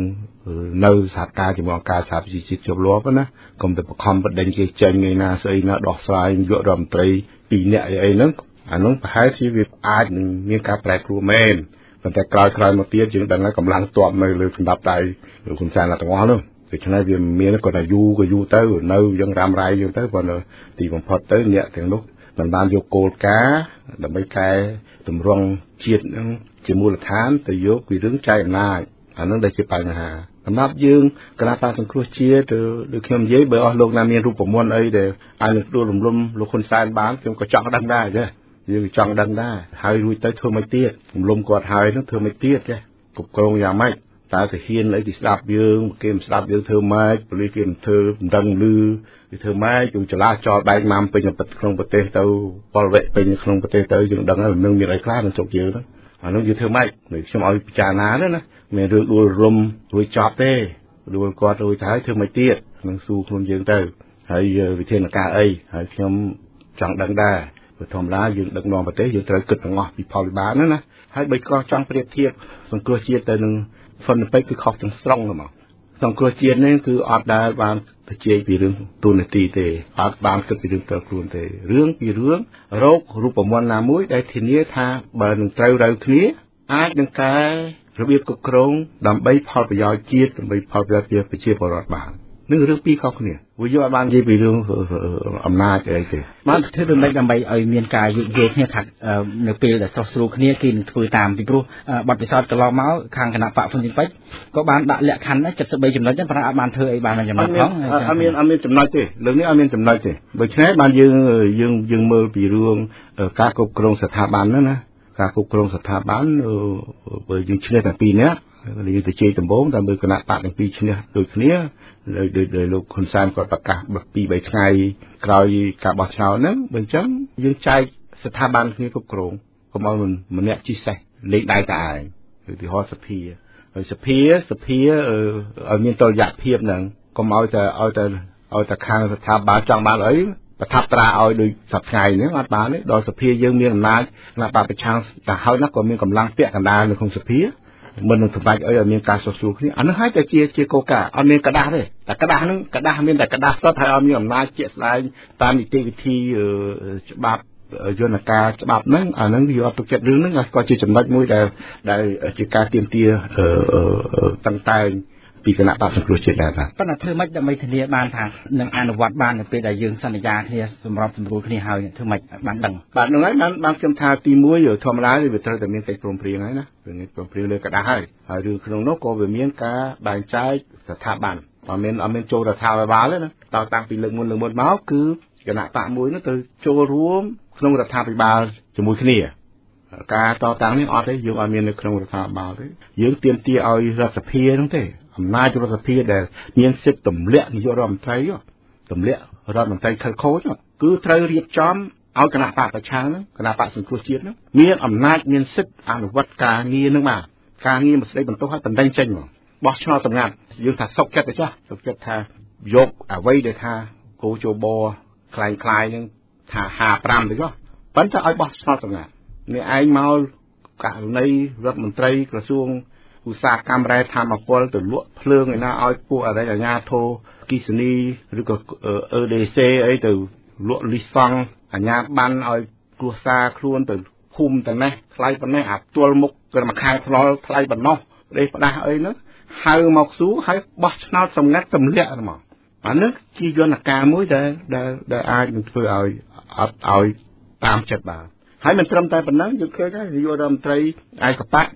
គាត់បោះឆ្នោតក៏គាត់ថាឡើងកាន់អំណាចជានាយករដ្ឋមន្ត្រីហ្នឹងគាត់មិនទាំងហ៊ានបោះឆ្នោតសម្ងាត់ផងណាថាបកគាត់មាន68ហ៎តែហ៊ានបោះឆ្នោតសម្ងាត់ផងណាបោះឆ្នោតលើកដៃនោះអានេះយន្តការដែលត្រឹមត្រូវគឺបោះឆ្នោតសម្ងាត់អានឹងហើយដែលមិនឲ្យពិសេសលើកដៃខ្ញុំជឿថាជាការងារមួយសំខាន់ណាស់ប្រទេសយើងក្នុងប្រវត្តិសាស្ត្រនឹងមិនទាន់ដែលបានអនុវត្តប្រជាធិបតេយ្យនឹងឲ្យបានមួយផ្នែកសំរុំនៅឡើយទេ ពីការគ្រប់គ្រងមួយទៅគ្រប់គ្រងមួយមានសម័យសាធារណរដ្ឋនោះបានខិតខំបានបន្តិចទេបើយូរទៅក៏វល់វែកបែកណាំរកទៅធ្វើអីមិនកើតទេដូច្នេះយើងត្រូវនាំគ្នាកសាងនីតិវិធីយន្តការគ្រប់គ្រងប្រទេសសិនមិនអ្នកណាមួយមកនោះបើយើងគិតថាអេរំលំហ៊ុនសែនទៅយកអ្នកមួយទៀតទៅដាក់ទៅក្នុងអាយន្តការក្នុងអារបៀបគ្រប់គ្រងរបៀបហ្នឹងណាកាយលោយើងវាមិនបានធ្វើល្អជាងលោកហ៊ុនសែនទៅទៀតទេដឹងហ្នឹងជាសំណួរ វាតលទី1យើងចង់បានទាំងពីរហើយពីព្រោះមានអ្នកខ្លះថាអញ្ចឹងបើលោកហ៊ុនសែនគាត់នៅតែក្នុងអំណាចរបស់គាត់ហ្នឹងវាពិបាកទៅកែណាព្រោះគាត់ធ្លាប់ស្រួលចឹងហើយគាត់យកដីអាណាទៅធ្វើអីក៏យកទៅចាប់ណាដាក់គុកក៏ចាប់ទៅលេងអាណាក៏លេងទៅធ្វើអីក៏បានតាមចិត្តគាត់ចង់ឲ្យគាត់ជាប់ដៃជាប់ជើងធ្វើឲ្យតាមចិត្តលេងបានទេអត់មានណាចង់ទេមនុស្សម្នាក់ម្នាក់ដែលគេបានគេថាគេចង់ឲ្យកម្មណាយូរណាប៉ុន្តែបើយើងមិនបាន ទាំងពីរយើងធ្វើមួយណាបានជោគជ័យក៏វាជាការឈានដំណើរទៅមុខដែរកុំតែយើងធ្វើអត់ធ្វើឲ្យសោះដោយសម័យគណៈបកផុនពេជ្រគណៈបកប្រជាជនហ្នឹងគឺទៅនាំគ្នារកលុយយោអាហ្នឹងត្រូវវាខុសគាត់នៅបើថាយើងទៅរៀបរយតិចទៅឥឡូវនគរបាលអីយន្តការវិន័យនគរបាលណាដែលទៅចាប់ពលរដ្ឋអីមេព្រៃហ្នឹងក៏បើកតែផ្លូវឲ្យពួកអាកាប់ឈើតាមចិត្តហ្នឹងបើកដៃឲ្យតែពួកអាខូចហ្នឹងហើយសម្រាប់ពលរដ្ឋកណ្ដាលឈើមកធ្វើផ្ទះនឹងចាប់អីនោះមានវិធានការ មកចត់គោរពច្បាប់ទាំងអស់គ្នាអីអីហ្នឹងអាហ្នឹងវាប្រសើរវាល្អដែរវិញទៅរៀបរយយន្តការប្រជាធិបតេយ្យមួយថាការគ្រប់គ្រងប្រទេសមិនមែនរំពឹងលើបុគ្គលទេលោកសុខាត្រូវចាំអញ្ចឹងបើចង់ឲ្យប្រទេសកម្ពុជានឹងមានសុខសន្តិភាពជានិរន្តរ៍មើលមើលប្រទេសដែលមានសន្តិភាពជានិរន្តរ៍សួរតែគេដែលយកបុគ្គលជាអតិទេពទេគេយកស្ថាប័នជាតិគេនឹងល្អច្បាប់គោរពទាំងអស់គ្នានីតិរដ្ឋហ្នឹង អ្នកឯងធ្វើខុសគេទម្លាក់ទៅមានតែឡាំតាយណាអូស្ត្រាលីអង់គ្លេសអឺរ៉ុបទាំងទាំងអស់ជប៉ុនតែប្រទេសគេជួនលឿនដែលស្រុកគេលូតលាស់មិនត្រឹមតែសុខសន្តិភាពយើងវាយគឺលូតលាស់នោះសួរដែលយករដ្ឋមន្ត្រីឡាំប៉ាគេមិនដែលទាច្បាប់ការពៀនយករដ្ឋមន្ត្រីក្រោយពីធ្លាក់ពីតំណែងផងវាមិនដែលទាទេព្រោះគេធ្វើការដោយមានការទទួលខុសត្រូវគេធ្វើហើយប្រជារាស្ត្រអស់ជំនឿគេហើយគេចាញ់ហើយរាស្ត្រអរគុណគេក៏ដោយជេរគេទៅគេអស់ហើយគេបាន ខំហើយប្រហែលឆ្នាំដែលគេក្នុងណាគេកែធ្វើគិតថាដើម្បីជាគេតែការពឹងផ្អែកទៅលើស្ថិរភាពនិងសន្តិភាពរបស់ប្រទេសគឺលើស្ថាប័នជាតិបើយើងរំពឹងលើបុគ្គលតើបុគ្គលនឹងទៅអាស្រុកទេនឹងទៅជាមួយបុគ្គលនឹងយើងចង់បានអញ្ចឹងទេដូច្នេះបានថាយើងអាចថាលោកហ៊ុនសែននៅគាត់ចង់លើកដំកើងគាត់ខ្ពស់អីចឹងណាប៉ុន្តែអ្នកតក្រោយទៀតកុំកុំចូលទៅចង់លើកខ្លួនឯងដែរតែលើថាតែគេសម្រាប់ដល់ខ្លួនឯងទៅចង់អីអាទិទេពដែរ ចុះពីឋានសួគ៌មកដែរថាយើងស្អីណាប្រវត្តិធ្វើមឹកអីដែរហ្នឹងអាហ្នឹងរឿងហ្នឹងស្រុកខ្មែរហ្នឹងអត់ចប់ទេត្រូវតែរៀបចំចូលយើងអត់មានយន្តការគ្រប់គ្រងត្រឹមត្រូវទេមកទួលថ្ងៃនេះគឺរំពឹងលើអំណាចបុគ្គលហើយពួកណាដែលមានទូនាទីយកអំណាចមកជាសង្កត់ជាយកលុយអានឹងខុសហើយស្រុកគេជឿនលឿនមិនបាច់ទៅមើលឆ្ងាយទេសម្បីសិង្ហបុរីនោះក៏គេមានរបៀបគេដែរដូររបៀបហ្នឹងសិនទៅហើយមេវមុខទៅទៅទេខ្ញុំជឿអញ្ចឹងហើយចាស់ចាស់ទាំងអស់គ្នាហើយ ណាក៏ក្មេងខ្ញុំទៅស្កៅអត់ហើយឥឡូវហ្នឹងដូច្នេះវាជាឱកាសមួយដែរវាចងពៀគ្នាយកងាប់យករស់ទេបើយកគ្នាយកងាប់យករស់ទៅដើម្បីឲ្យរលាយដល់ដដែលទេខ្ញុំជឿថាអ្នកដែលមានយោបល់ហ្នឹងហើយគាត់នៅឋានសុខទៅហើយចាបើគាត់នៅក្នុងជាមួយយើងហ្នឹងយើងត្រូវគិតពលពលរដ្ឋយើងយើងមិនចង់ឲ្យពលរដ្ឋយើងវេទនាទេដូច្នេះបានក្នុងគណៈបកសង្គ្រោះជាតិនេះខ្ញុំសរសើរសរសើរទឹកចិត្តគំនិតរបស់គាត់គាត់ថា ខ្លះចោតអូមើលចោះលោកធានសំរងស៊ីលោកធានកំសខាហ្នឹងបែបកំសាឲ្យភ័យហើយក្លាហានហ្នឹងក៏នឹងសិតទុកចិត្តពាក្យលីជីវិតអីឥឡូវមិនក៏ភ័យម៉ាស់អត់ហ៊ានដល់ធ្វើបាតកម្មទៀតមិនមែនទេមិនមានរឿងខ្លាចមិនធ្វើទេប៉ុន្តែយើងមិនចង់ឲ្យពលរដ្ឋយើងស្លាប់ដោយមិនបានផលស្លាប់ហើយអត់បានផលទៀតដូច្នេះបានតែយើងត្រូវយើងរកវិធីណាមួយដែលជាដំណោះស្រាយដើម្បីនឹងបន្តការ កែលម្អប្រទេសជាតិយើងនឹងឲ្យបានល្អជាផលប្រយោជន៍ទាំងអស់គ្នាក្នុងន័យនេះមិនមែនយើងអោនក្បាលថាអ្នកដឹកនាំអាក្រក់ទៅអោនក្បាលខ្លាចញើនោះទេខ្ញុំខ្ញុំជឿថាយើងម្នាក់ម្នាក់នឹងក្នុងការតស៊ូដើម្បីជាតិច្រើនឆ្នាំមកវាមានកិត្តិយសវាមុខក៏លេងខ្លាចលេងស្លាប់ទាំងអស់គ្នាហើយឥឡូវនោះតែគ្រាន់តែថាយើងត្រូវមានការទទួលខុសត្រូវធ្វើអីក៏ដោយឲ្យមានការពិចារណាធ្វើអីក៏ដោយ ឲ្យបានផលប្រយោជន៍ដល់ប្រជាជាតិនិងពលរដ្ឋកុំធ្វើដោយហៅថាការលោភលន់កុំធ្វើទៅដោយមោហោទោសោកុំធ្វើដោយការរំភើបត្រូវធ្វើដោយមានការទទួលខុសត្រូវគិតគូរគ្រប់ជ្រុងជ្រោយនេះដែលបំណងប្រាថ្នារបស់គណៈបព្វសង្គ្រោះជាតិ អរគុណលោកជុនឆៃដោយសារតែពេលវេលាយើងអស់ម៉ោងហើយសូមចាប់ការវិភាគសាត្រឹមប៉ុណ្ណេះសង្ឃឹមថានឹងជួបគ្នាធ្វើការវិភាគសាបន្តទៀតនៅមានរឿងច្រើនដែលត្រូវនិយាយដោយសារម៉ោងពេលយើងអញ្ចឹងសូមថ្លែងមកគុណមុនបញ្ចប់សូមថ្លែងមកគុណយ៉ាងជ្រាលជ្រៅចំពោះលោកជុនឆៃដែលជាតំណាងរាស្ត្រជាប់ឆ្នោតដែលជើញចូលរួមក្នុងការវិភាគសាជម្រាបជូនអនុស្នាប់និយាយពីដំណោះស្រាយនយោបាយចុងក្រោយនៅក្នុងប្រទេសកម្ពុជាជំរាបលាអរគុណហើយអរគុណបងប្អូនលោកជាអ្នកស្ដាប់ហើយខ្ញុំតែងរីករាយណាស់ជួនកាលមានការរិះគន់ក៏វិខ្ញុំបានជួបផ្ដល់ជាចម្លើយក្តីជាគំនិតយោបល់អីតែមានការរិះគន់សូមបន្តរិះគន់ខ្ញុំត្រេកអរណាស់បើមានខុសឆ្គងយ៉ាងណាធ្វើការរិះគន់តាមប្រភពផ្សេងផ្សេងដើម្បីខ្លួនខ្ញុំអាចយកអ្វីដែលជាគំនិតនៃការរិះគន់នឹងទៅពិចារណាដើម្បីកែគិតឡើងវិញក្នុងការចូលរួមជួយប្រទេសជាតិយើងឲ្យបានជោគជ័យពិតប្រាកដបាទអរគុណសូមអរគុណ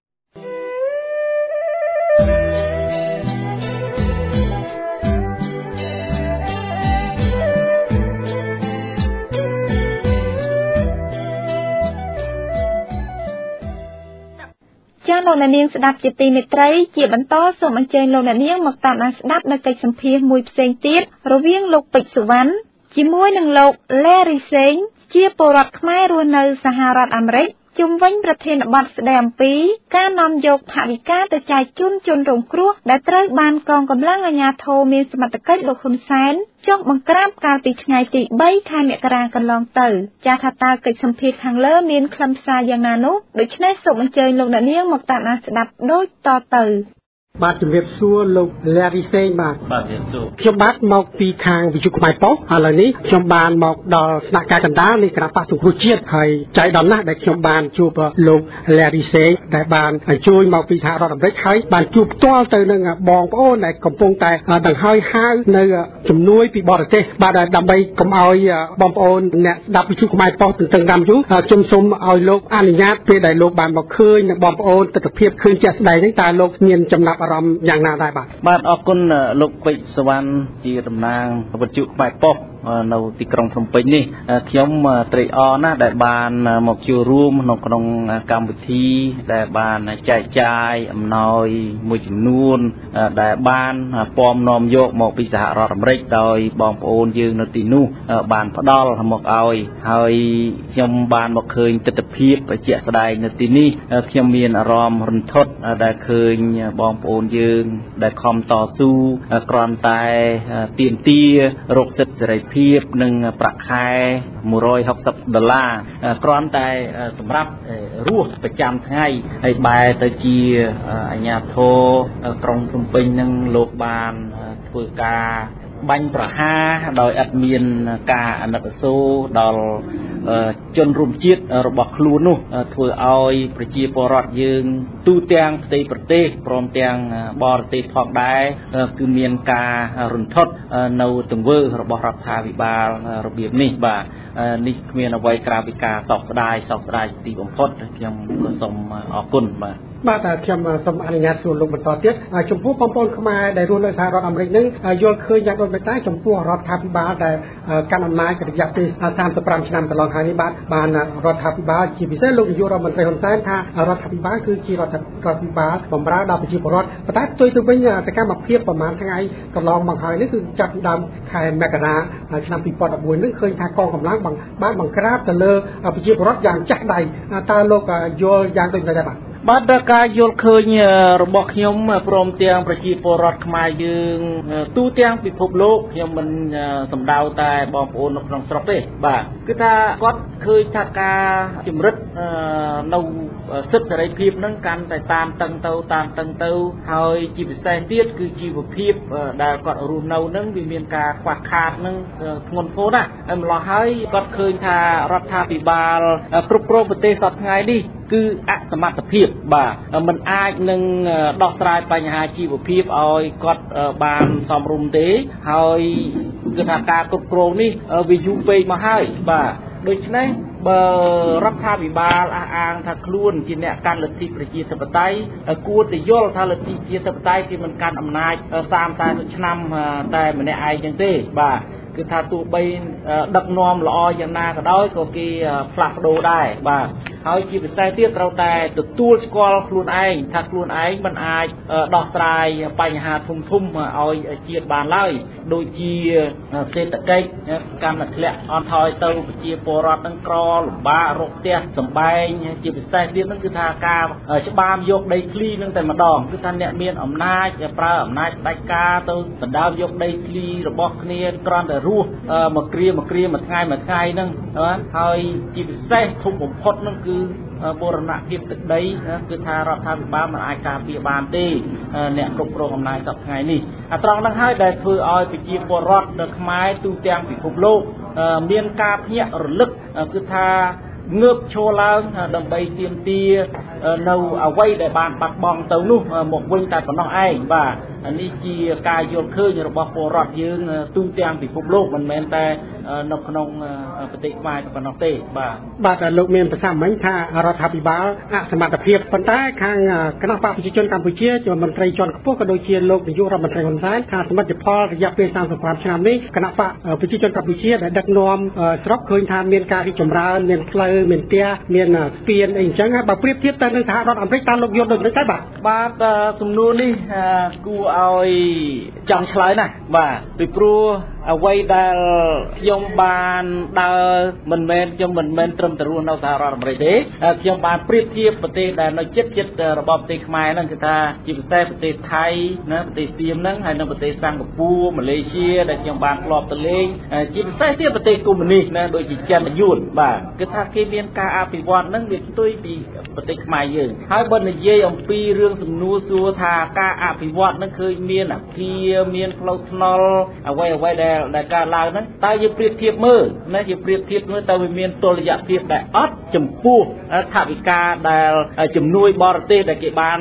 ជួយមកក្នុងមួយឆ្នាំមួយឆ្នាំរាប់ពាន់លានដុល្លារនោះហើយថែមទាំងបំផ្លាញព្រៃឈើណាព្រៃឈើនិងសម្បត្តិមច្ឆាជាតិគឺថារត់លេអស់ហើយរីឯកម្ចីណាបរទេសនោះទៀតក៏វាច្រើនលើសលុបបាទបើកាលណាយើងមានការ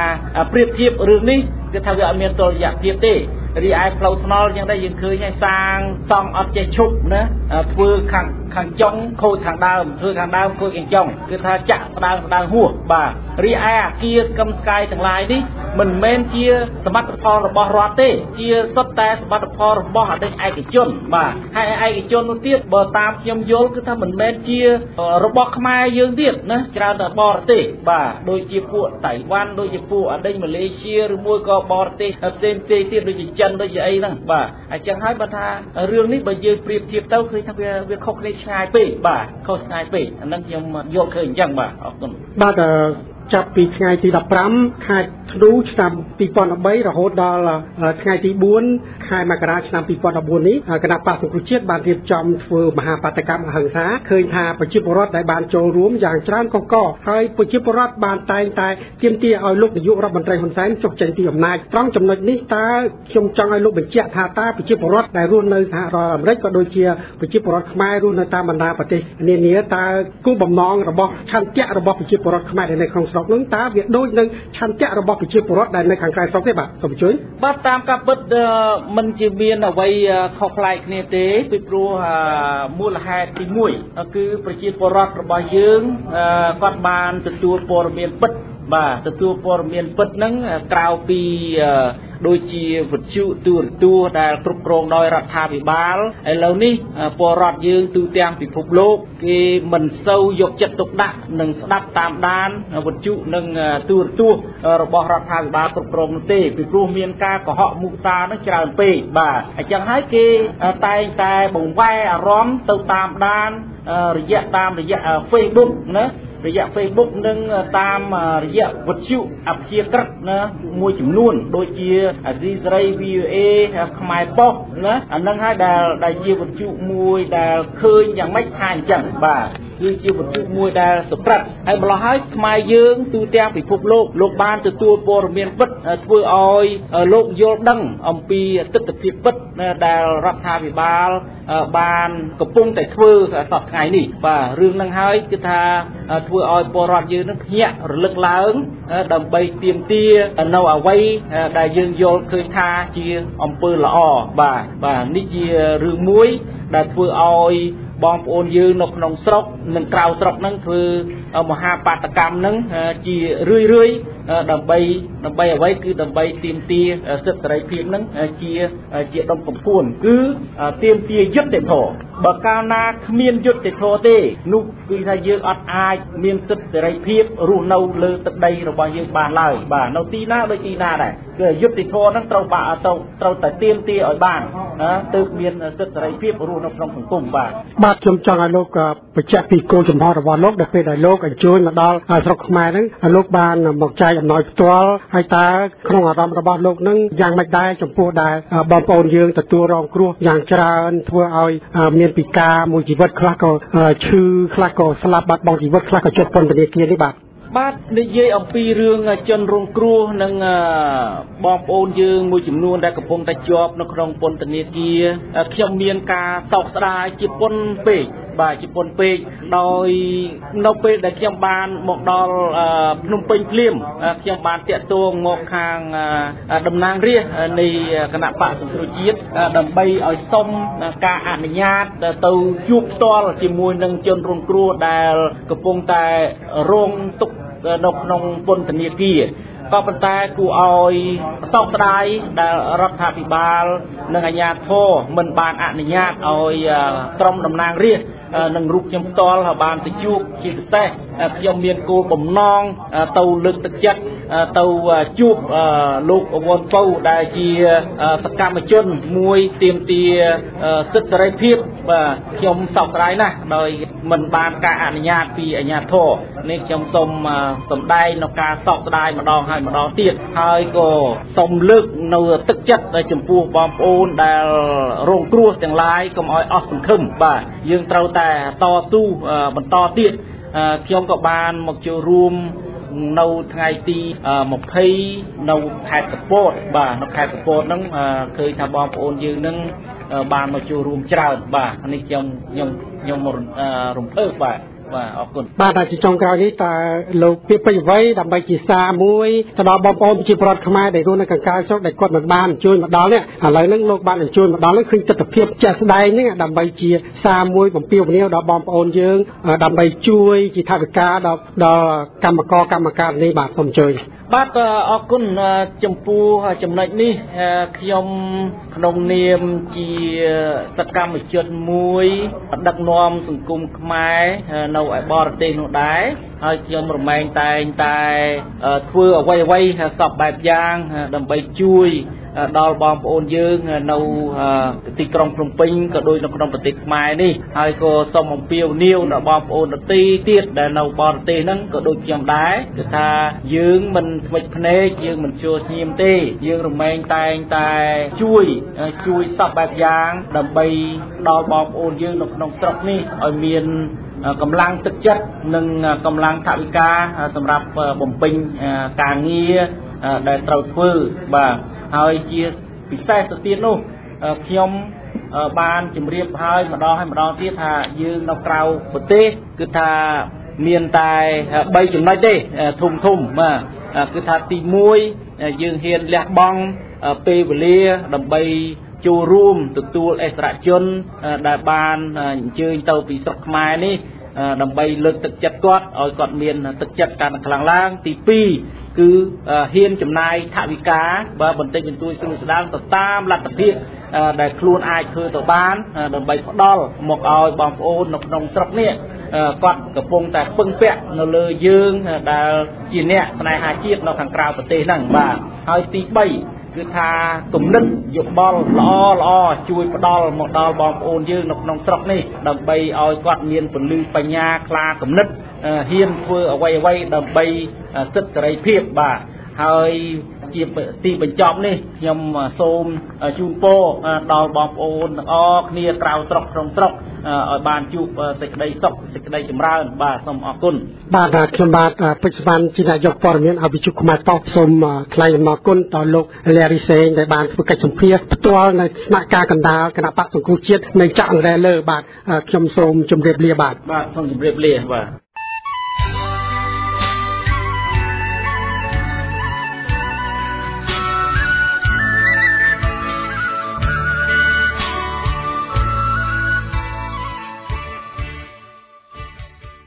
បាទសូមជម្រាបសួរប្រិយមិត្តអ្នកស្ដាប់វិទ្យុខ្មែរប៉ុស្តិ៍ជាទីមេត្រីបាទប្រជាពលរដ្ឋនៅខេត្ត Ontario ប្រទេសកាណាដាជាពិសេសនោះគឺនៅទីក្រុង Toronto បានមូលមតិគ្នាធ្វើមហាបដកម្មមួយដើម្បីទាមទារឲ្យអន្តរជាតិកាត់ទោសលោកហ៊ុនសែនក្នុងការបាញ់ប្រហារ វីរៈបដកខ្មែរនៅតាមដងផ្លូវវែងស្រេងដូច្នេះហើយសូមបងប្អូនមេត្តាចូលរួមឲ្យបានច្រើនកកកមហាបដកម្មប្រព្រឹត្តឡើងនៅថ្ងៃទី26ខែមករាគឺត្រូវនឹងថ្ងៃអាទិត្យឆ្នាំ2014ទីកន្លែងនោះគឺនៅ Yonggi Dongdas Square ផ្លូវ1 Dongdas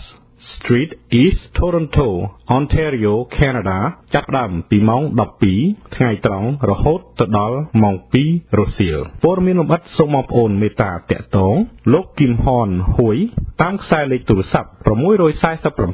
268 42 38លោកហ្វាលីមតាមខ្សែលេខទូរស័ព្ទ647 891 1305អ្នកស្រីសូម៉ាលីណាមាស តាមខ្សែលេខទូរស័ព្ទ416 887 01 77លោកស៊ីវឈីងខៀងតាមខ្សែលេខទូរស័ព្ទ647 989 73 14អាស្រ័យឲ្យបានជម្រាបខាងលើនេះសូមបងប្អូនមេត្តាចូលរួមធ្វើមហាបដកម្មជាមួយប្រជាពលរដ្ឋខ្មែរនៅទីក្រុងថូរ៉ុនតូឲ្យបានច្រើនកកកសូមអរគុណ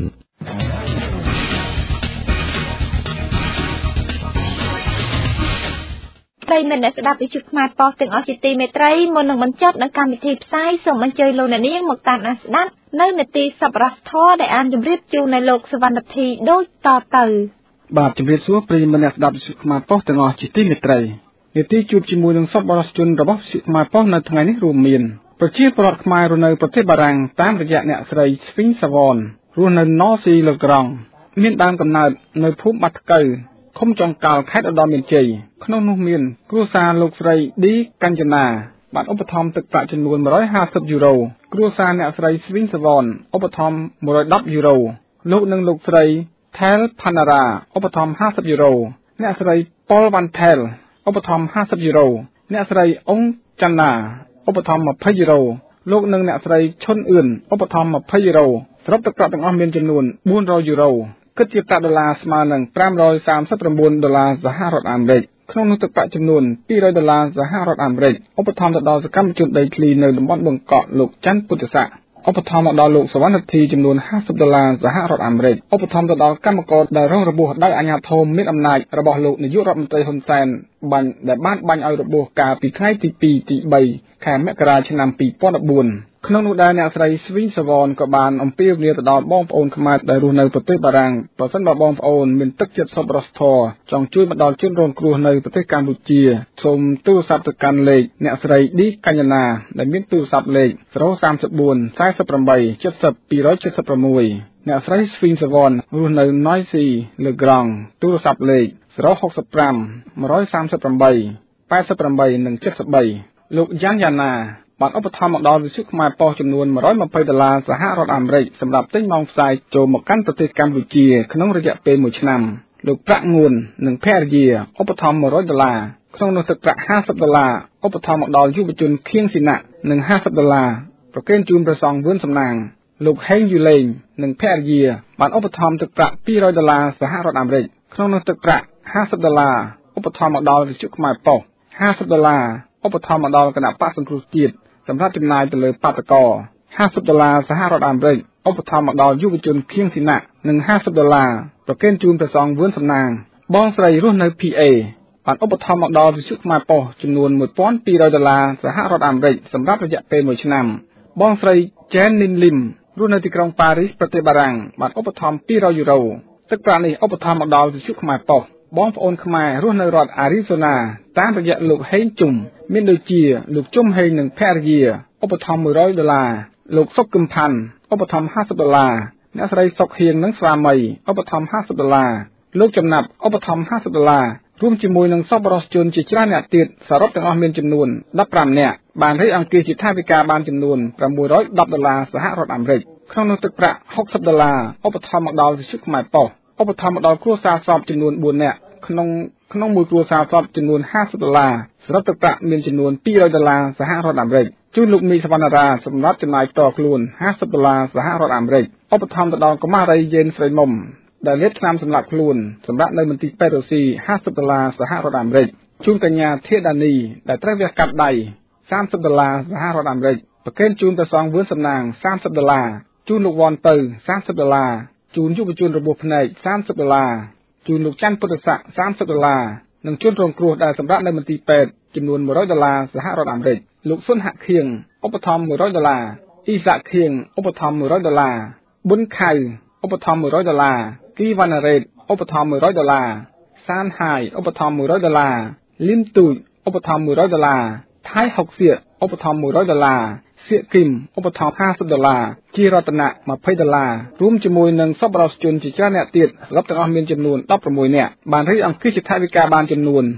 1180ដុល្លារសហរដ្ឋអាមេរិកទឹកប្រាក់នេះឧបត្ថម្ភមកដល់វិទ្យុខ្មែរប៉ុស្តិ៍លោកចននីវងរិទ្ធឧបត្ថម្ភ30ដុល្លារលោកនីខនហូវ៉ាន់ឧបត្ថម្ភ20ដុល្លារសរុបទាំងអស់មានចំនួន50ដុល្លារទឹកប្រាក់នេះឧបត្ថម្ភមកដល់វិទ្យុខ្មែរប៉ុស្តិ៍ឧបាសិកាខឿនមឿនឧបត្ថម្ភ50ដុល្លារកញ្ញាផេងណារី ឧបត្ថម្ភ30ដុល្លារលោកអងញុលនិងភរិយាឧបត្ថម្ភ50ដុល្លារសរុបទាំងអស់មានចំនួន130ដុល្លារក្នុងនោះទឹកប្រាក់50ដុល្លារឧបត្ថម្ភមកដល់វិទ្យុខ្មែរប៉ុស្តិ៍ប្រកេនជូនព្រះសង្ឃបុត្របន្ទិញ30ដុល្លារជូនជនរងគ្រោះដែលសម្រាប់នៅមន្ទីរពេទ្យ50ដុល្លារសហរដ្ឋអាមេរិកលោកតាមេជួននិងលោកយាយកិនតៃឧបត្ថម្ភ100ដុល្លារអ្នកស្រី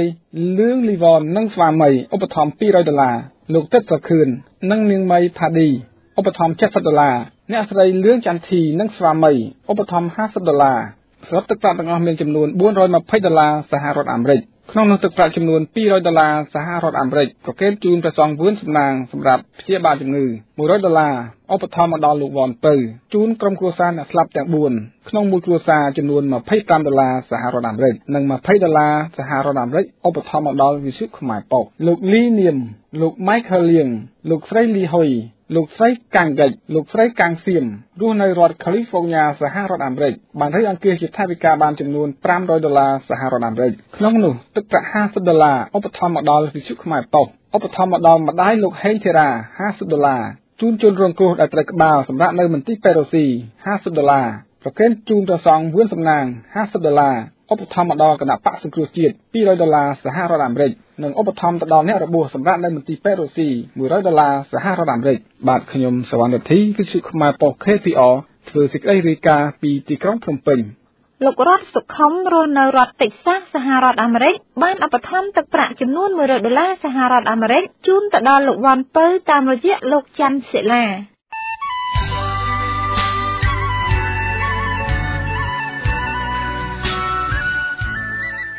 បាទលំដាប់តទៅនេះខ្ញុំបាទសុកស៊ីវិនសូមធ្វើសេចក្តីរាយការណ៍បន្តនៃសប្បុរសជនក្នុងការជួយគ្រប់គ្រងដល់វិទ្យុខ្មែរប៉ុស្តិ៍ក៏ដូចជាគ្រប់គ្រងដល់ជនរងគ្រោះផងដែរបាទជាដំបូងខ្ញុំបាទសុកស៊ីវិនសូមថ្លែងអំណរគុណដល់ Lucky Video ដែលបានជួយ copy ថតចម្លង CD របស់គណៈបកសង្គ្រោះជាតិគឺតន្ត្រីសង្គ្រោះជាតិខេត្តបន្ទាយមានជ័យលោកក៏បានជួយផ្សាយនៅក្នុងគេហទំព័ររបស់លោកគឺ www.khairtv3.com com ដូច្នេះខ្ញុំបាទសុកស៊ីវិនសូមធ្វើសេចក្តីថ្លែងអំណរគុណដល់ Lucky Video ដែលបានជួយរំលែកទុកដល់វិទ្យុខ្មែរប៉ុស្តិ៍ក្នុងការផលិត CD ដើម្បីផ្ដល់ថវិកាទៅដល់ក្រុមតន្ត្រីសង្គ្រោះជាតិបាទសូមថ្លែងអំណរគុណដល់លោកស្រីសុកចម្រើន នៅទីក្រុង Montreal ដែលបានវិភាគទានទៅដល់បដិជគុណបុតបន្ទិញ100ដុល្លារជួយលោកសួងសំណាង100ដុល្លារជួយដល់លោកវ៉ាន់ពៅ50ដុល្លារហើយជួយដល់វិទ្យុខ្មែរប៉ុស្តិ៍50ដុល្លារសូមថ្លែងអំណរគុណដល់លោកព្រឹទ្ធាចារ្យទីវចម្រើន ដែលលោកបានជួយដល់លោកវ៉ាន់ពៅ50ដល់លោកច័ន្ទពុទ្ធចក្រ100ដុល្លារលោកសូសំណាង100ដុល្លារហើយ50ដុល្លារទៀតនោះគឺសម្រាប់ជួយដល់ជនរងគ្រោះបាទតាំងនាមអវិសុខ្មែរប៉ុស្តិ៍ខ្ញុំបាទសុកស៊ីវិនសូមអរគុណដល់សប្បុរសជនទាំងអស់ដែលបានជួយរំលែកទុកដល់ជនរងគ្រោះក៏ដូចជាបានជួយដល់វិសុខ្មែរប៉ុស្តិ៍ផងដែរសូមឲ្យអស់លោកលោកស្រីទាំងអស់ប្រកបដោយសេចក្តីសុខនិងសេចក្តីចម្រើនគ្រប់ប្រការខ្ញុំបាទសុកស៊ីវិនសូមអរគុណសូមជម្រាបលាបាទ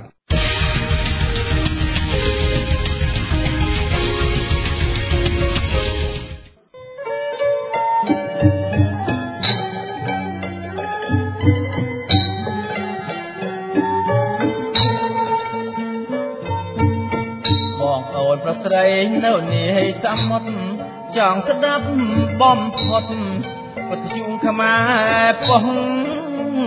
អើយបងប្អូនប្រស្រីនៅនាយទាំងមុតចង់ស្ដាប់បំផុតពទ្យុខ្មែរប៉ុងព័ត៌មានថ្មីថ្មីស្អាតស្អំអត់ចង់ជ្រោតជ្រាបទាំងអង្គហើយតនហេតុការអើអា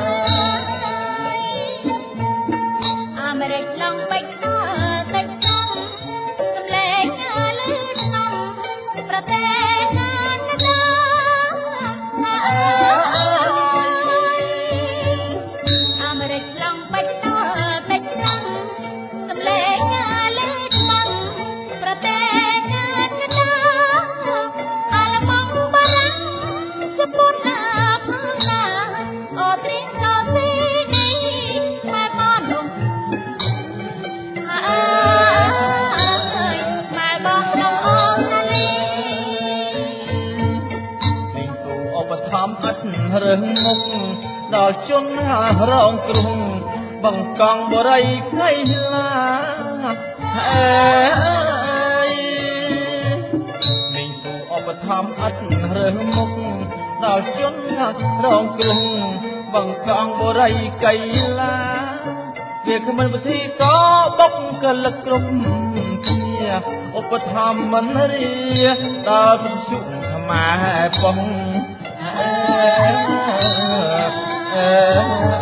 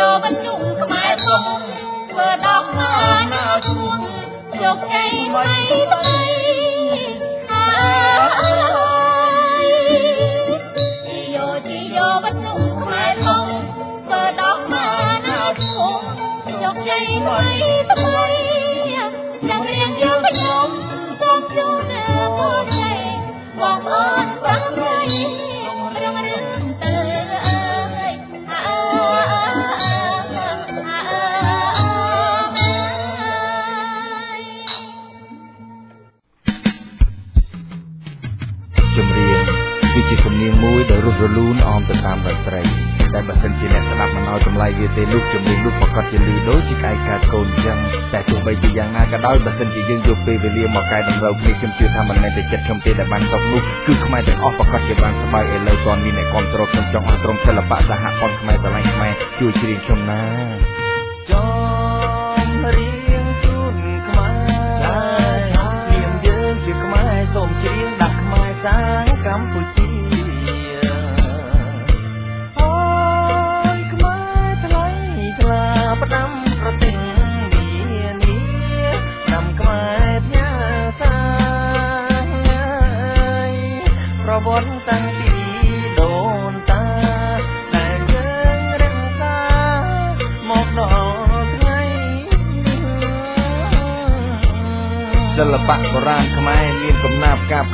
សិល្បៈសម័យនេះមានកំភ្លើងធីងភោងតាមសសរដងគោមហាមមិនឲ្យសត្វនោមចាប់រំលោភឆ្នាំញៀនទឹកអាស៊ីតដេកហើមហេតុអីមកពីឃើញគេមានលោភលន់មិនសមស្របនាំមករឿងស្មុគស្មាញយកមកជាលក់នឹងផ្លែទ្របទ្រុងអភ័ព្វអោបទុក ដូចកំណប់បបងមិនឲ្យតម្លៃខ្ញុំខ្ញុំជ្រៀងតវ៉ាតតែសន្លប់បងចង់ឲ្យខ្ញុំឈប់ខួរខ្ញុំដែលចេញពីខ្មែរទាំងដុំទាំងដុំមិនព្រមឲ្យខ្ញុំឈប់អីជ្រៀងមិនចេញត្អូញត្អែឲ្យដូចមីយាដកខ្ញីដកមិនចេញដើរដួលនៅនាលមិនឲ្យខ្មាស់ដីដីអើយដីខ្មែរដុសខែឲ្យមានន័យបើសិនជាថ្ងៃស្អែកស្លាប់សូមស្លាប់ដើម្បីខ្មែរគ្រាន់ជាងជ្រៀងលក់ទឹកដីភ្លៀងធ្លាំងមិនទៅពីរស់ព្រោះមិនបោពីអ្នកដតីតែចំណេញដោយកុមារទៅតែកើតម្សិលមួយថ្ងៃច្រឡំបត់ តាហាជាបត់ទៅពីនៃពេលបងបើកហាងថ្មីស្គរឆាយ៉ាំយើងមានកុំយកបងសាយហែតាមបើទិញទូកជីឲ្យជាប់កុំអន់មកវិញជីចានសូមឲ្យសុខសានត្រានសូមឲ្យយើងមានបានរស់ឲ្យអស់ទុកភ័យស្គាល់សម័យយន្តហោះទឹកលមកម៉ូតូឡានស្គាល់កលុកទុកខ្មែរខ្មោចអ្នកចេះរាប់លានលើកដៃសូមប្រណម្យជូនប្រជាជនខ្មែរដែលកំពុងស្រែកឃ្លានជាពិសេសពលិនខ្មែរកំពុងខ្វះ លក្ខណៈស្នំថែអ្នកត្រូវបាញ់ដែលជន់ទាលជូនបងកងតបដែលកំពុងតែឈរហាលវាបានស្ដីចុះបន្ទោសចុះថាចុះព្រោះខ្ញុំចេះជាងចាស់ដែលធ្វើជាឪខ្ញុំបានខ្មែរក្រតែមានទ្របដើរទាត់គ្រប់ជំនាញមិនជួយលើកបែកជាជន់ចោតតែខ្ញុំសាមានសូមបង្វល់ម្ដងទៀតលោកអ្នកចេះកុំយកបិចមករកទន្ទ្រាន say no more សូមអង្វរពូខ្ញុំច្រៀងឲ្យខ្មែរស្រឡាញ់ប្រសើរជាងយកពីគេមកផាត់គូគិតទៅក៏រេដឹងថាខ្មែរមានគួរទៅធ្វើអង្គរខ្ញុំយូរថ្ងៃណាបានមើលម្ដងទៀតទៅណ៎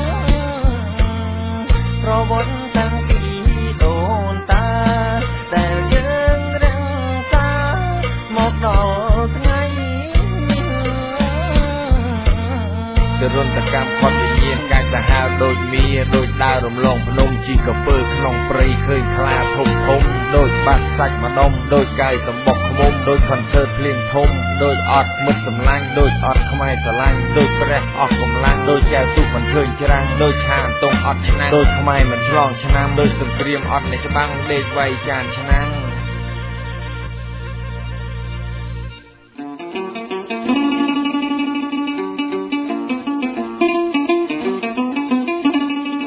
លោកអ្នកនាងជាទីមេត្រី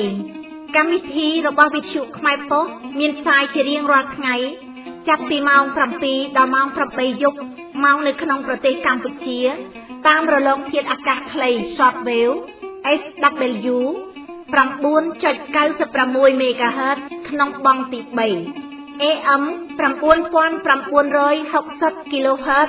ក្នុងកម្ពស់31ម៉ែត្រអាចស្ដាប់ឮទូទាំងប្រទេសកម្ពុជា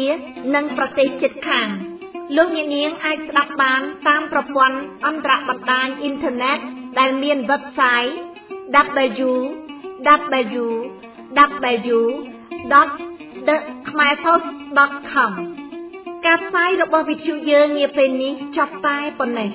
សូមលោកអ្នកនាង រងចាំស្ដាប់កម្មវិធីផ្សាយរបស់វិទ្យុខ្មែរប៉ុស្តិ៍នៅពេលនិងម៉ោងដដែលសូមជូនពរដល់អស់លោកលោកស្រីឲ្យបានប្រកបដោយសេចក្តីសុខចម្រើន គ្រប់ប្រការ សូមជម្រាបលា